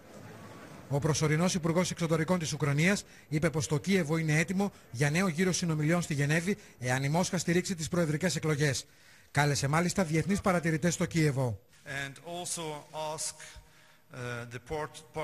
Επίσης ζήτησα από τους εταίρους μας να κάνουν ό,τι είναι δυνατόν προκειμένου να περιορίσουν τις εξωτερικές απειλές αλλά και τις προβοκάτσιες που στηρίζονται από τη Ρωσία στην Ουκρανία ώστε να επιτραπεί η διεξαγωγή των εκλογών με ελεύθερο και δημοκρατικό τρόπο, σημείωσε ο Αντρέι Ντεστούτσια. Νωρίτερα ο Σεργκέι Λαυρόφ υπογράμμισε πως εάν υπάρξει νέος γύρος συνομιλιών στη Γενέβη θα πρέπει πλέον να συμμετάσχουν και εκπρόσωποι των ρωσόφωνων περιοχών από τα ανατολικά της Ουκρανίας. Με νέες κυρώσεις απειλεί τη Μόσχα η Ουάσιγκτον εάν η Ρωσία εμπλακεί στις προεδρικές εκλογές της Ουκρανίας. Ο Αμερικανός Υπουργός Εξωτερικών Τζον Κέρι, που συναντήθηκε με την επικεφαλής της Ευρωπαϊκής Διπλωματίας Κάθριν Άστον, απέρριψε και τα σχέδια για δημοψήφισμα στο Ντόνετσκ. Είμαστε ιδιαίτερα ανήσυχοι σχετικά με τις προσπάθειες των φιλορώσων εξτρεμιστών στο Ντόνετσκ και το Λουγκάνσκ να οργανώσουν ένα σκηνοθετημένο και κύβδηλο δημοψήφισμα ανεξαρτησίας στις 11 Μαΐου. Απορρίπτουμε κατηγορηματικά αυτή την παράνομη προσπάθεια για περαιτέρω διαίρεση της Ουκρανίας, σημείωσε ο Κέρι, που θα έχει επαφές στην Ευρώπη τις επόμενες ημέρες. Οι Ηνωμένες Πολιτείες και η Ευρωπαϊκή Ένωση θεωρούν πως η Ρωσία απέτυχε να ανταποκριθεί στη Συμφωνία της Γενέβης. Η Ουκρανία έχει κάθε δικαίωμα να υπερασπιστεί την εδαφική της ακαιρεότητα. Κατανοούμε τις διεθνείς τους υποχρεώσεις και συνεργαζόμαστε στενά μαζί τους. Όπως τονίσατε, έχουν κάνει πολλά από την πρώτη στιγμή που έφυγαν από τη Γενέβη προκειμένου να υλοποιηθούν όσα έχουν συμφωνηθεί, είπε η Κάθριν Άστον. Στο Ντόνετς η ένταση κορυφώνεται. 30 ένοπλοι φιλορώσοι περικύκλωσαν βάση των δυνάμεων ασφαλείας που ανήκουν στο Υπουργείο Εσωτερικών. Απέτησαν από τους άνδρες των αρχών να μην συμμετάσχουν σε οποιαδήποτε κυβερνητική επιχείρηση εναντίον τους. Στην Ιγυρία θα πάμε τώρα, όπου εκεί θύματα απαγωγής έχουν πέσει τις τελευταίες μέρες, νεαρά κορίτσια ηλικίας 12 με 15 ετών. Οι ένοπλοι απαγωγής έβαλαν τα κορίτσια σε φορτηγά μαζί με ζώα και τρόφιμα και τα πήραν ως λάφυρα από ένα χωριό το οποίο λαιλάτισαν.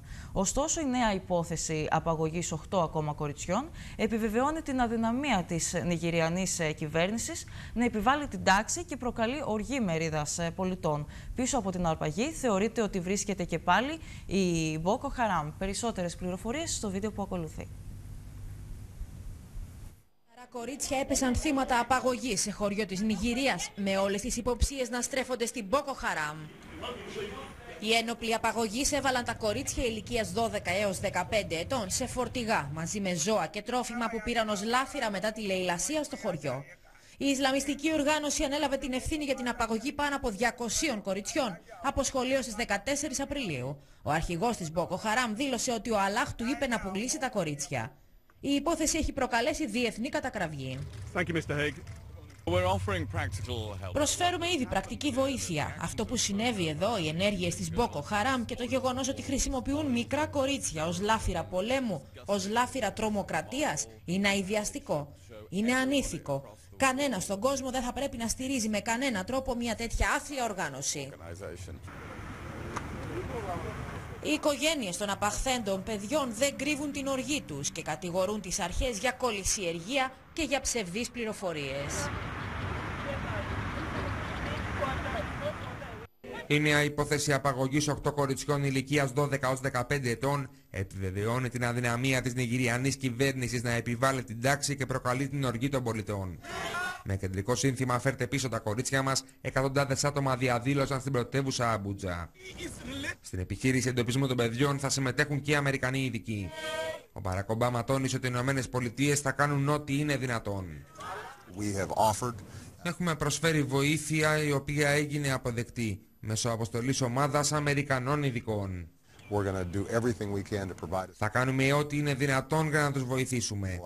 Βραχυπρόθεσμα ο στόχος μας είναι προφανώς να εργαστούμε από κοινού με τη διεθνή κοινότητα και την κυβέρνηση της Νιγηρίας για να εντοπίσουμε τα νεαρά κορίτσια. Πρέπει όμως να αντιμετωπίσουμε το ευρύτερο πρόβλημα που προκύπτει με αυτές τις οργανώσεις που επιφέρουν τον όλεθρο στην καθημερινή ζωή των ανθρώπων, ανέφερε ο Αμερικανός Πρόεδρος. Η υπόθεση έχει προκαλέσει διεθνή κατακραυγή. Ο ΙΕ προειδοποίησε τους δράστες της Μπόκο Χαράμ ότι αν πραγματοποιήσουν την απειλή τους και πουλήσουν τα εκατοντάδες κορίτσια ως σκλάβες θα λογοδοτήσουν για εγκλήματα κατά της ανθρωπότητας. Τώρα θα δούμε τους ακτιβιστές από την οργάνωση της Oxfam, οι οποίοι έστησαν μια συμβολική διαμαρτυρία, με την οποία ζητούν από τους Υπουργούς Οικονομικών να δώσουν μέρο των εσόδων του φόρου Τόμπιν για την καταπολέμηση της φτώχειας και της κλιματικής αλλαγής. Να δούμε το σχετικό βίντεο. Μέχρι το 2016 πρέπει να περιμένει ο Ρομπέν των Δασών για να δώσει την τελική μάχη του με τους τραπεζίτες. Ακτιβιστές από την οργάνωση Oxfam έστησαν μια συμβολική διαμαρτυρία με την οποία ζητούν από τους Υπουργούς Οικονομικών να δώσουν μέρος των εσόδων του φόρου Τόμπιν για την καταπολέμηση της φτώχειας και της κλιματικής αλλαγής. Το 15% αυτού του φόρου θα μπορούσε να καλύψει τις περικοπές που έχουν γίνει σε πέντε χώρες, την Ελλάδα, την Ισπανία, την Ιταλία κλπ. τα τελευταία τρία χρόνια. Και μόνο το 5% αυτού του φόρου θα επέτρεπε τη χρηματοδότηση ενός εκατομμυρίου νοσηλευτών στην Αφρική, είπε η επικεφαλής της οργάνωσης της Βρυξέλλες Νατάλια Αλόνσο. Λίγα μέτρα πιο πέρα, στο κτίριο του Ευρωπαϊκού Συμβουλίου, οι Υπουργοί Οικονομικών των 11 χωρών που θα συμμετέχουν δεν καταφέραν να καταλήξουν σε συμφωνία για το πού και σε ποιες συναλλαγές θα επιβάλλεται ο φόρος. Ένας φόρος, ο οποίος σύμφωνα με την Κομισιόν μπορεί να αποφέρει έως και 35 δισεκατομμύρια ευρώ στα κρατικά ταμεία ετησίως. Γερμανία και Γαλλία ήθελαν μια συμφωνία πριν από τις ευρωεκλογές, αλλά τελικά αυτό μοιάζει πλέον απίθανο, ενώ οι πιέσεις από τους χρηματοπιστωτικούς κύκλους σε όλη την Ευρώπη εντείνονται. Σε ένα πρώτο βήμα θα θέλαμε να έχουμε μια πολιτική συμφωνία ώστε αυτό το πρώτο βήμα να τεθεί σε εφαρμογή την 1η Ιανουαρίου 2016. Αυτό είναι ακόμα φιλόδοξο, αλλά όπως και να έχει διατηρεί την πίεση για το φόρο χρηματοπιστωτικών συναλλαγών ψηλά, είπε ο Γερμανός Υπουργός Οικονομικών Wolfgang Schäuble.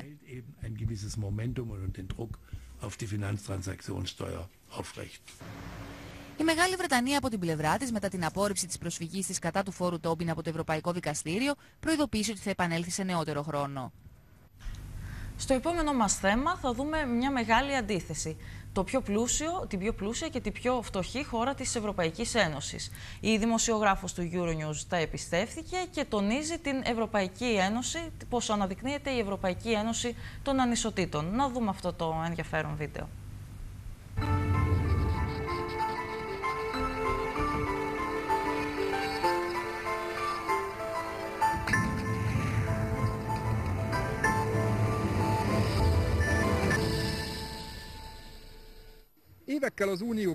Χρόνια μετά τη διεύρυνση της Ευρωπαϊκής Ένωσης, η Ευρώπη δείχνει ενωμένη.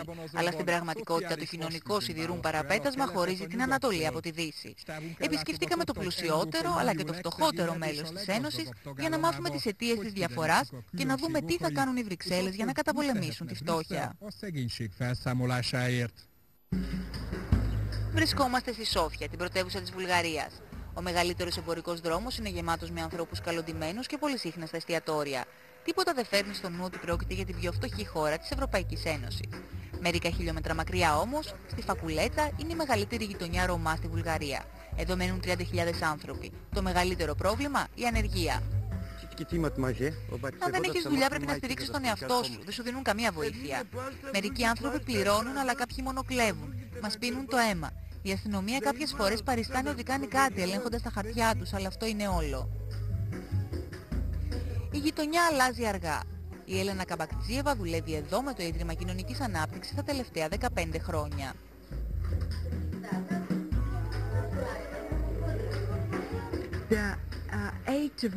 Η ηλικία γάμου αυξήθηκε από τα 14 στα 16, στα 18, στα 20, ενώ τη μέση ηλικία γάμου. Τα παιδιά που εγκαταλείπουν το σχολείο είναι πλέον πολύ λιγότερα σε αυτή τη γειτονιά από ό,τι ήταν πριν υπάρξουν αυτές οι υπηρεσίες.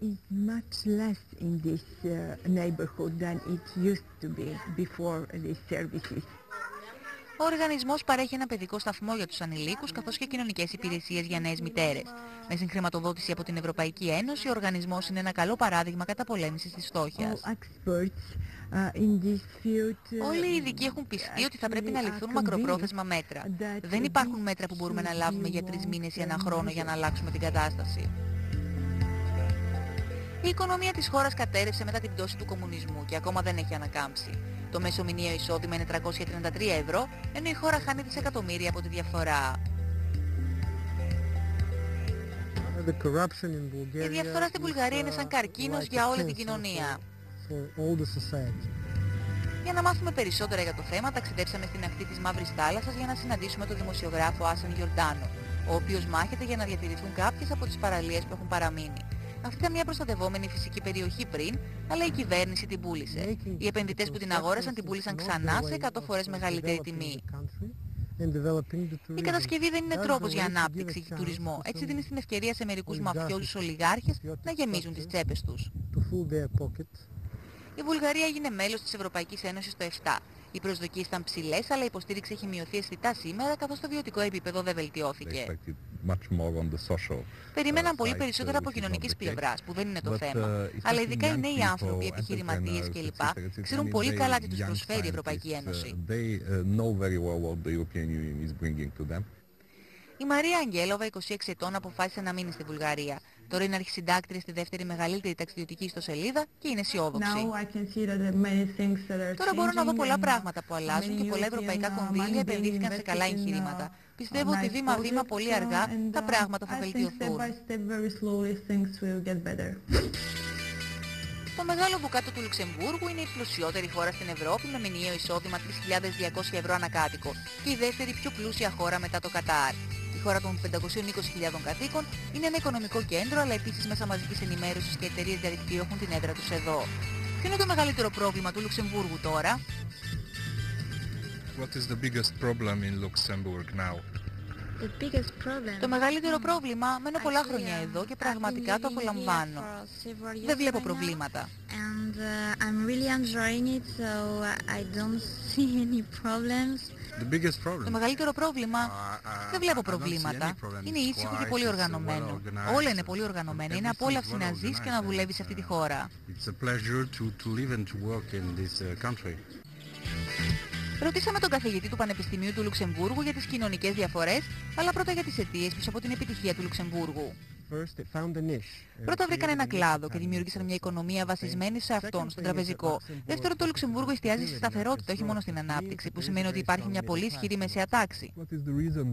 Ποιος είναι ο λόγος πίσω από την ακραία φτώχεια που βλέπουμε σε κάποιες περιοχές της Ευρώπης; Αυτές οι περιοχές στην Ευρώπη που λέτε είναι περιοχές όπου η μεσαία τάξη υποφέρει σημαντικά και υστερεί και στην πραγματικότητα συρρυκνώνεται. Είναι οικονομίες που παραμένουν προσκολλημένες στην κατασκευή, τη βιομηχανία και ως αποτέλεσμα πέφτουν. Αυτή είναι κλάδη που ενεργεία αυξάνεται περισσότερο στην Ευρωπαϊκή Ένωση.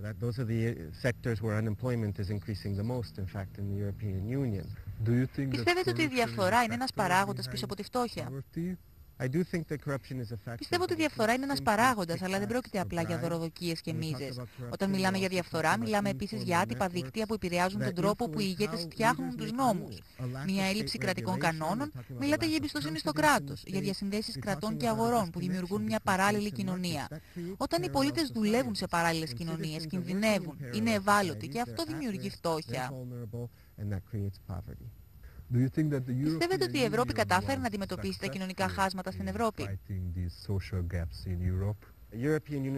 Η Ευρωπαϊκή Ένωση επένδυσε πολλά στις υποδομές. Τώρα το πρόβλημα είναι ότι ενώ έχουν τις υποδομές δεν κατάφεραν να αντιμετωπίσουν κάποια δομικά προβλήματα στις περιοχές, όπως για παράδειγμα την παραοικονομία.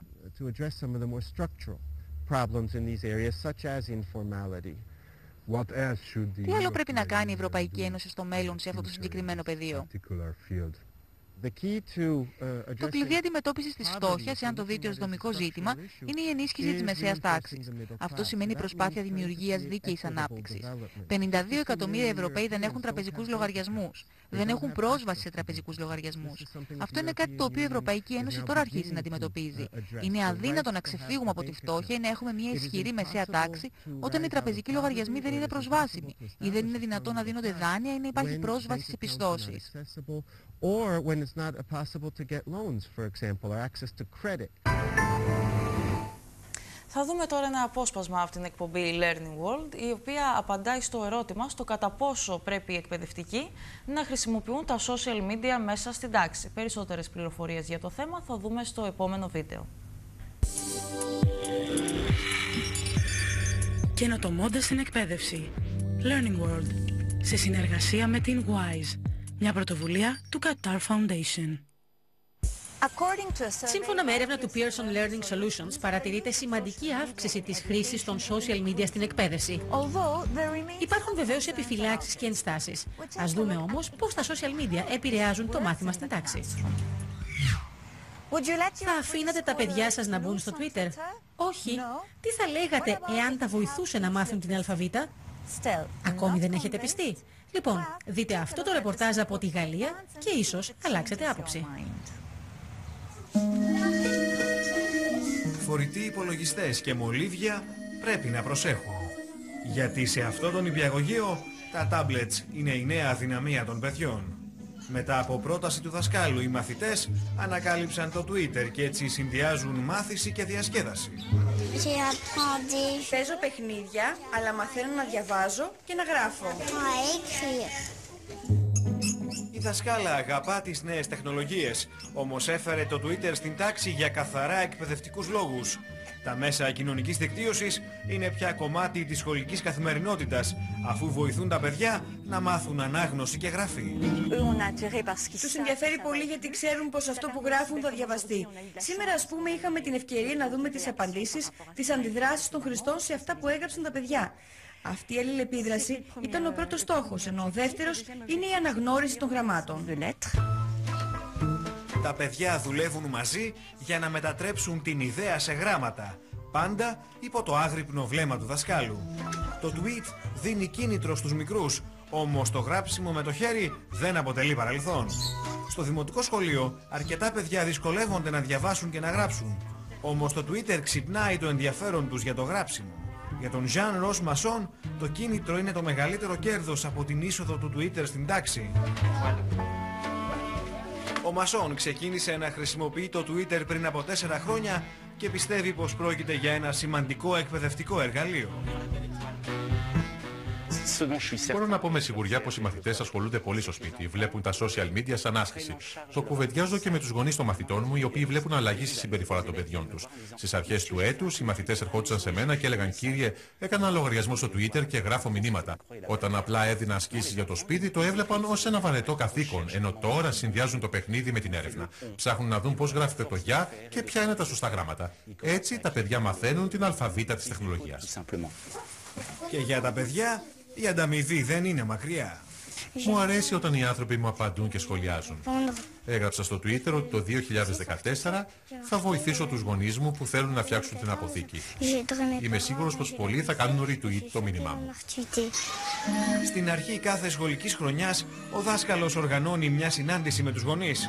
Παλιότερα ήταν επιφυλακτική, όμως τελικά τα social media τους κέρδισαν. Έχουν κίνητρο, αυτό είναι ξεκάθαρο. Ο Δημήτρη αγαπάει τους υπολογιστές και θέλει να μάθει να τους χρησιμοποιεί σωστά. Βλέπω πως τα social media βοηθούν. Πέρα από το Twitter, ο δάσκαλος μαθαίνει στα παιδιά τα μυστικά του διαδικτύου. Στόχος του είναι να γνωρίζουν τους κινδύνους του ίντερνετ και να μπορούν να προφυλάσσουν τον εαυτό τους και την δουλειά τους.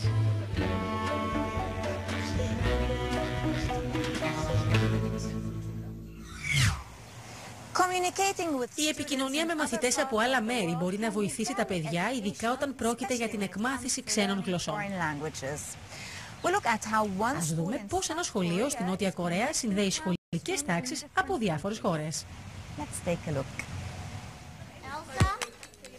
Είναι online, αν και βρίσκονται στο σχολείο. Αυτά τα παιδιά στη Νότια Κορέα μιλούν με άλλα παιδιά που βρίσκονται πολύ μακριά. Μια φορά την εβδομάδα συζητούν με άλλους μαθητές για την καθημερινή ζωή του σχολείου τους. Σήμερα, μέσω διαδικτύου, συναντούν μαθητές από την Ταϊβάν. This is not studying. Αυτό δεν είναι μάθημα. Um, it's like... It's a game? Είναι μια διασκεδαστική δραστηριότητα. Αυτό το σχολείο που βρίσκεται λίγο έξω από τη Σεούλ συμμετέχει στο εκπαιδευτικό πρόγραμμα του Βρετανικού Συμβουλίου. Πρόκειται για ένα παγκόσμιο πρόγραμμα που συνδέει τους μαθητές από όλο τον κόσμο με στόχο την εκμάθηση της αγγλικής γλώσσας. Κάποιοι μαθητές δεν μπορούσαν να φανταστούν ότι μπορούν να συνδεθούν με φίλους τους από άλλα σχολεία της Ταϊβάν. Η τεχνολογία στην τάξη βοηθά τον διάλογο μεταξύ των μαθητών, ενώ βελτιώνουν και τα αγγλικά τους. Κάθε τάξη έχει και μία σελίδα στο Facebook για να μοιράζεται φωτογραφίες. Όμως οι εκπαιδευτικοί ελέγχουν ποιος έχει πρόσβαση καθώς και τι ανεβάζει.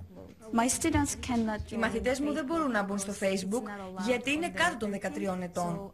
Γι' αυτό και συνήθως ανεβάζω τη δουλειά τους, ενώ εκείνοι βλέπουν τις φωτογραφίες τους. Στα μαθήματα αγγλικών οι Κορεάτες μαθητές δεν επιτρέπεται να χρησιμοποιήσουν λεξικό. Όμως εδώ μπορούν να χρησιμοποιήσουν το δικό τους κινητό τηλέφωνο για να βρουν τι σημαίνει μια λέξη ή μια φράση και έτσι προετοιμάζουν όσα θέλουν να πούν όταν συνδέονται με μαθητές από άλλες χώρες. Οι περισσότεροι γονείς στην Κορέα θέλουν πολύ τα παιδιά τους να μάθουν καλά αγγλικά. Επιπλέον τα παιδιά έχουν τη δυνατότητα να επικοινωνούν με τους μαθητές από άλλες χώρες μέσω Skype και Ίντερνετ. Γι' αυτό θέλουμε να επεκτείνουμε το πρόγραμμά μας. Θέλουμε όλα τα παιδιά να έχουν πρόσβαση στην τεχνολογία ώστε να βελτιώσουν τα αγγλικά τους. Στη Σεούλ περισσότερα από 70 σχολεία συμμετέχουν στο πρόγραμμα, ενώ όλο και περισσότερες χώρες ζητούν να ενταχθούν ώστε οι μαθητές να μάθουν αγγλικά αλλά και άλλες γλώσσες.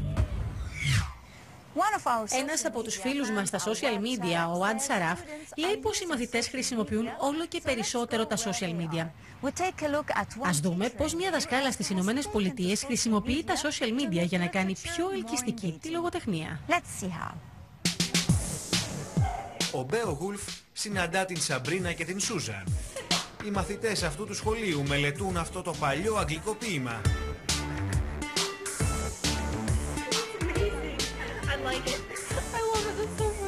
Αποστολή τους είναι να ερμηνεύσουν έναν αγαπημένο τους τύπο και να καταγράψουν τη σκηνή στο Vine. Πρόκειται για ένα νέο μέσο κοινωνικής δικτύωσης, στο οποίο ανεβάζεις βίντεο διάρκειας 7 δευτερολέπτων. Τα δύο κορίτσια ζητούν από την δασκάλα λογοτεχνίας Τζόντι Μόργενσον να αξιολογήσει την δουλειά τους πριν την ανεβάσει στο Vine. Μου αρέσει να κάνω Vine στην τάξη, επειδή έτσι μπορούμε να καταλάβουμε, να το κατανοήσουμε καλύτερα το υλικό. Είναι πραγματικά διαδραστικό και τελικά μαθαίνεις πολύ περισσότερα.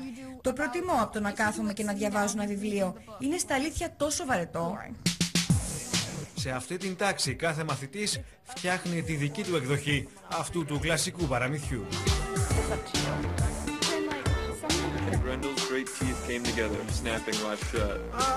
Οι μαθητές δεν ασχολούνται μόνο με στιγμιότυπα λογοτεχνικών έργων. Διαβάζουν ολόκληρο τον Beowulf καθώς και άλλα έργα όπως το Canterbury Tales. Οι μαθητές υποστηρίζουν ότι η χρήση των κοινωνικών μέσων δικτύωσης τους επιτρέπει να βοηθούν ο ένας τον άλλον και να μαθαίνουν καλύτερα.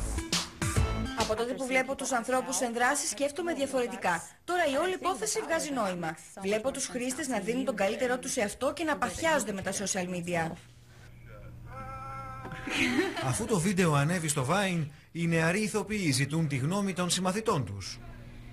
Κατά κάποιο τρόπο όλοι χρησιμοποιούν το χιούμορ. Συνήθως αν ξέρεις το χιούμορ Beowulf, ξέρεις πως δεν εμπλέκεται τόσο πολύ. Ο Beowulf έχει πραγματικά δύσκολη γλώσσα. Μέσω του Vine μπορούμε να φέρουμε αυτό το λογοτεχνικό κόσμο κοντά μας και να τον κάνουμε δικό μας. Η Μόργενσον ξεκίνησε να χρησιμοποιεί το Vine πριν από ένα χρόνο. Είναι πολύ ευχαριστημένη γιατί οι μαθητές δεν αντιμετωπίζουν πια τη λογοτεχνία ως κάτι δύσκολο και απρόσιτο. Αντίθετα, είναι κάτι διασκεδαστικό και όχι μία ακόμα άσκηση για το σπίτι. Τα παιδιά που πηγαίνουν γυμνάσιο δεν παίζουν πολύ, δεν έχουν χρόνο. Ο Μπέο Γουλφ και η διασκέδαση συνήθως δεν πάνε χέρι-χέρι. Όμως απολαμβάνουν τα social media. Στο Vine βρίσκουν αυτό που ψάχνουν και παίζουν παράλληλα. Για μένα ο συνδυασμός μάθησης και παιχνιδιού είναι ιδιαίτερα σημαντικός.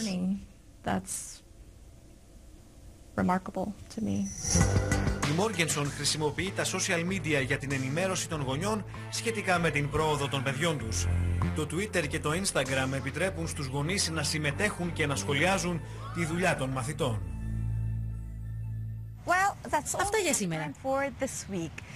Στα social media του Euronews περιμένουμε τα σχόλιά σας για την είσοδο των μέσων κοινωνικής δικτύωσης στις σχολικές Είδαμε λοιπόν την κάμερα του Euronews που μπήκε σε σχολικές αίθουσες όπου εκεί χρησιμοποιούνται ως εκπαιδευτικά εργαλεία το Twitter και το Facebook. Θα πάμε τώρα όμως στις, ε, στο διασημικό τομέα όπου εκεί είναι παντού γύρω μας, στην πλοήγηση και στις ε, τηλεπικοινωνίες. Η διαστημική διαστηριότητα στην Ευρώπη μετρά ήδη 50 χρόνια. Με αφορμή την επέτειο, θα πάμε πίσω στο χρόνο σε μια ενδιαφέρουσα διαδρομή. Πρόκειται για μισό αιώνα ανακαλύψεων και μεγάλων συγκινήσεων. Να δούμε λοιπόν αυτή τη ε, διαδρομή μέσα από το επόμενο βίντεο.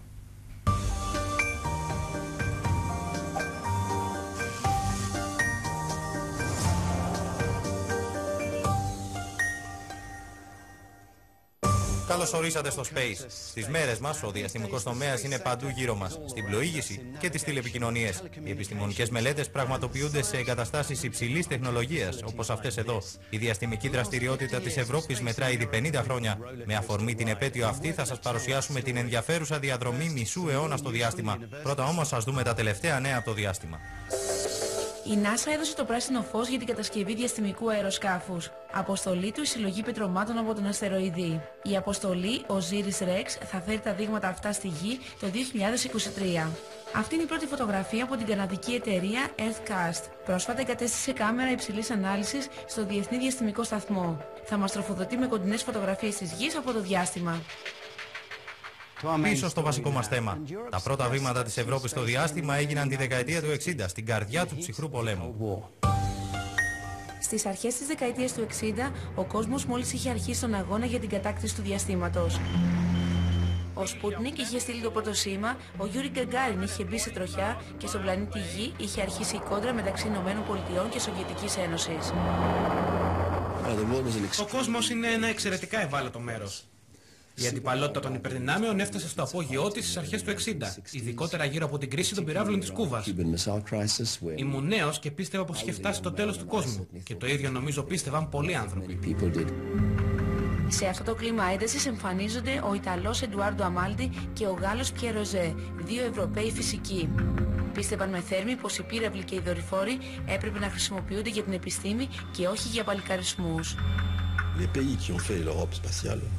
Οι χώρες που έβαλαν τις βάσεις για το ευρωπαϊκό διάστημα είναι χώρες που 20 χρόνια πριν ήταν σε πόλεμο, σε έναν άγριο πόλεμο. Αυτές οι χώρες ενώθηκαν και αποφάσισαν να χρησιμοποιήσουν κοινή γλώσσα που δεν θα τους οδηγούσε σε σύγκρουση. Ήταν η γλώσσα της επιστήμης. Υπό την ηγεσία του Αμάλτη και του ΟΖΕ, η Ευρώπη έκανε δύο τεράστια βήματα στο διάστημα με δύο διαστημικούς οργανισμούς. Έναν για τους πυράβλους, τον ΕΛΔΟ, και έναν για την επιστημονική έρευνα, τον ΕΣΡΟ. Τα πρώτα χρόνια οι διαθέσιμοι προϋπολογισμοί ήταν περιορισμένοι, τα προβλήματα μεγάλα, ενώ συνεχιζόταν η ένταση μεταξύ Βρετανίας και Γαλλίας. Και ξαφνικά στα τέλη της δεκαετίας του 60 συμφώνησαν πως έπρεπε να αρχίσει η συγχώνευση των δύο οργανισμών. Στην αρχή έγιναν σπασμωδικές κινήσεις. Το πρόγραμμα προχώρησε προς υλοποίηση σε μια επεισοδιακή συνάντηση των φορέων το 1973. Τότε μπήκαν οι βάσεις για έναν ενιαίο οργανισμό. Η βασική του αποστολή αφορούσε στην επιστημονική έρευνα του διαστήματος. Η έρευνα εντάχθηκε υποχρεωτικά στο πρόγραμμα, όχι από αγάπη στην επιστήμη, αλλά επειδή δεν επιθυμούσαν να τη χρηματοδοτούν πλέον σε πανεπιστημιακό επίπεδο. Η υποχρέωση χρηματοδότησης του νεοσύστατου Ευρωπαϊκού Οργανισμού Διαστήματος θεωρήθηκε επιτυχής, καθώς έδωσε όθηση στην έρευνα. Όμως η Ευρώπη εξακολουθούσε να χρειάζεται το δικό της πύραυλο. Οι Γερμανοί δεν συμφωνούσαν με την κατασκευή του Αριάν, ενώ οι Βρετανοί ήταν εξαιρετικά εχθρικοί με το εγχείρημα. Οι Γάλλοι έλεγαν ότι προχωρούσαν μόνοι τους. Πράγματι, χάρη στο πείσμα τους και στην καχυποψία για τα κίνητρα των Ηνωμένων Πολιτειών, οι Γάλλοι ξεκίνησαν την περιπέτεια.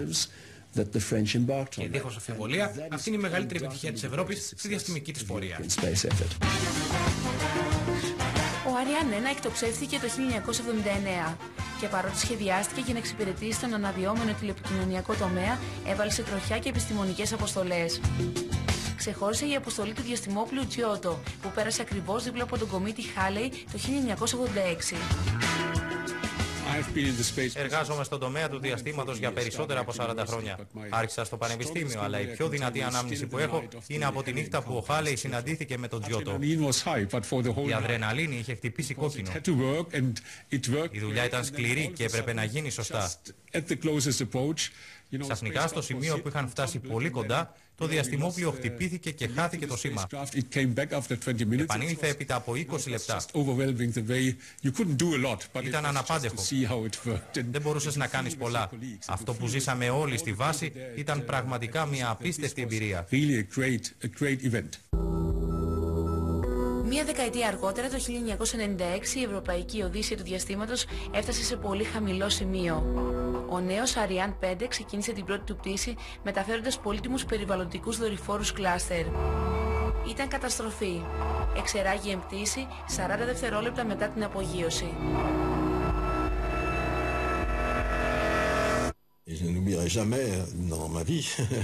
Δεν θα ξεχάσω ποτέ στη ζωή μου εκείνους τους γίγαντες που ήταν επικεφαλής της επιχείρησης. Πραγματικοί γίγαντες, ισχυροί, αρχηγικοί, που είχαν λυγίσει και έκλεγαν σε μια αποθήκη πίσω από το κέντρο ελέγχου του πυράβλου.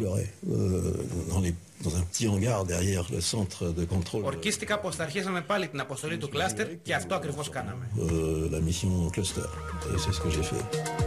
Ο κλάστερ συνέχισε να είναι ενεργός, ενώ το 2005 ο Ευρωπαϊκός Οργανισμός Διαστήματος, σε συνεργασία με την NASA, γιόρτασε μία από τις πιο τολμηρές αποστολές του. Ένας ανιχνευτής, ο Huygens, προσεδαφίστηκε στο μεγαλύτερο δορυφόρο του χρόνου, τον Τιτάνα.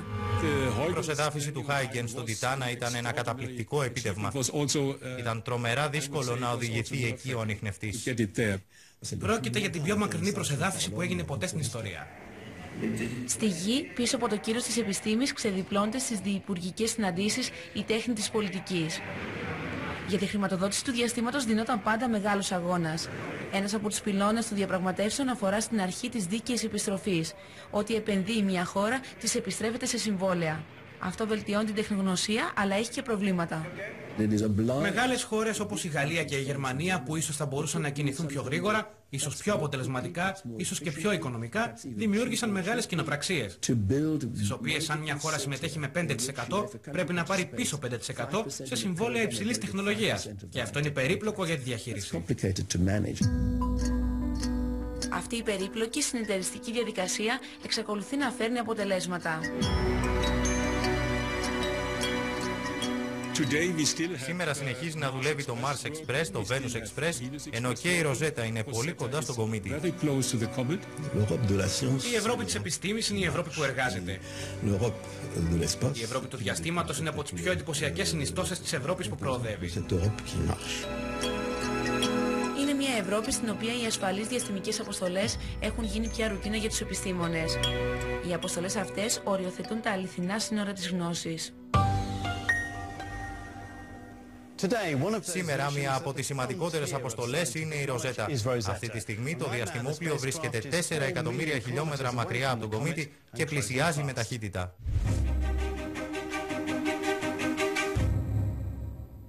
Η ομάδα στον κομίτη Hunters επιθεώρησε τα όργανα της Ροζέτας.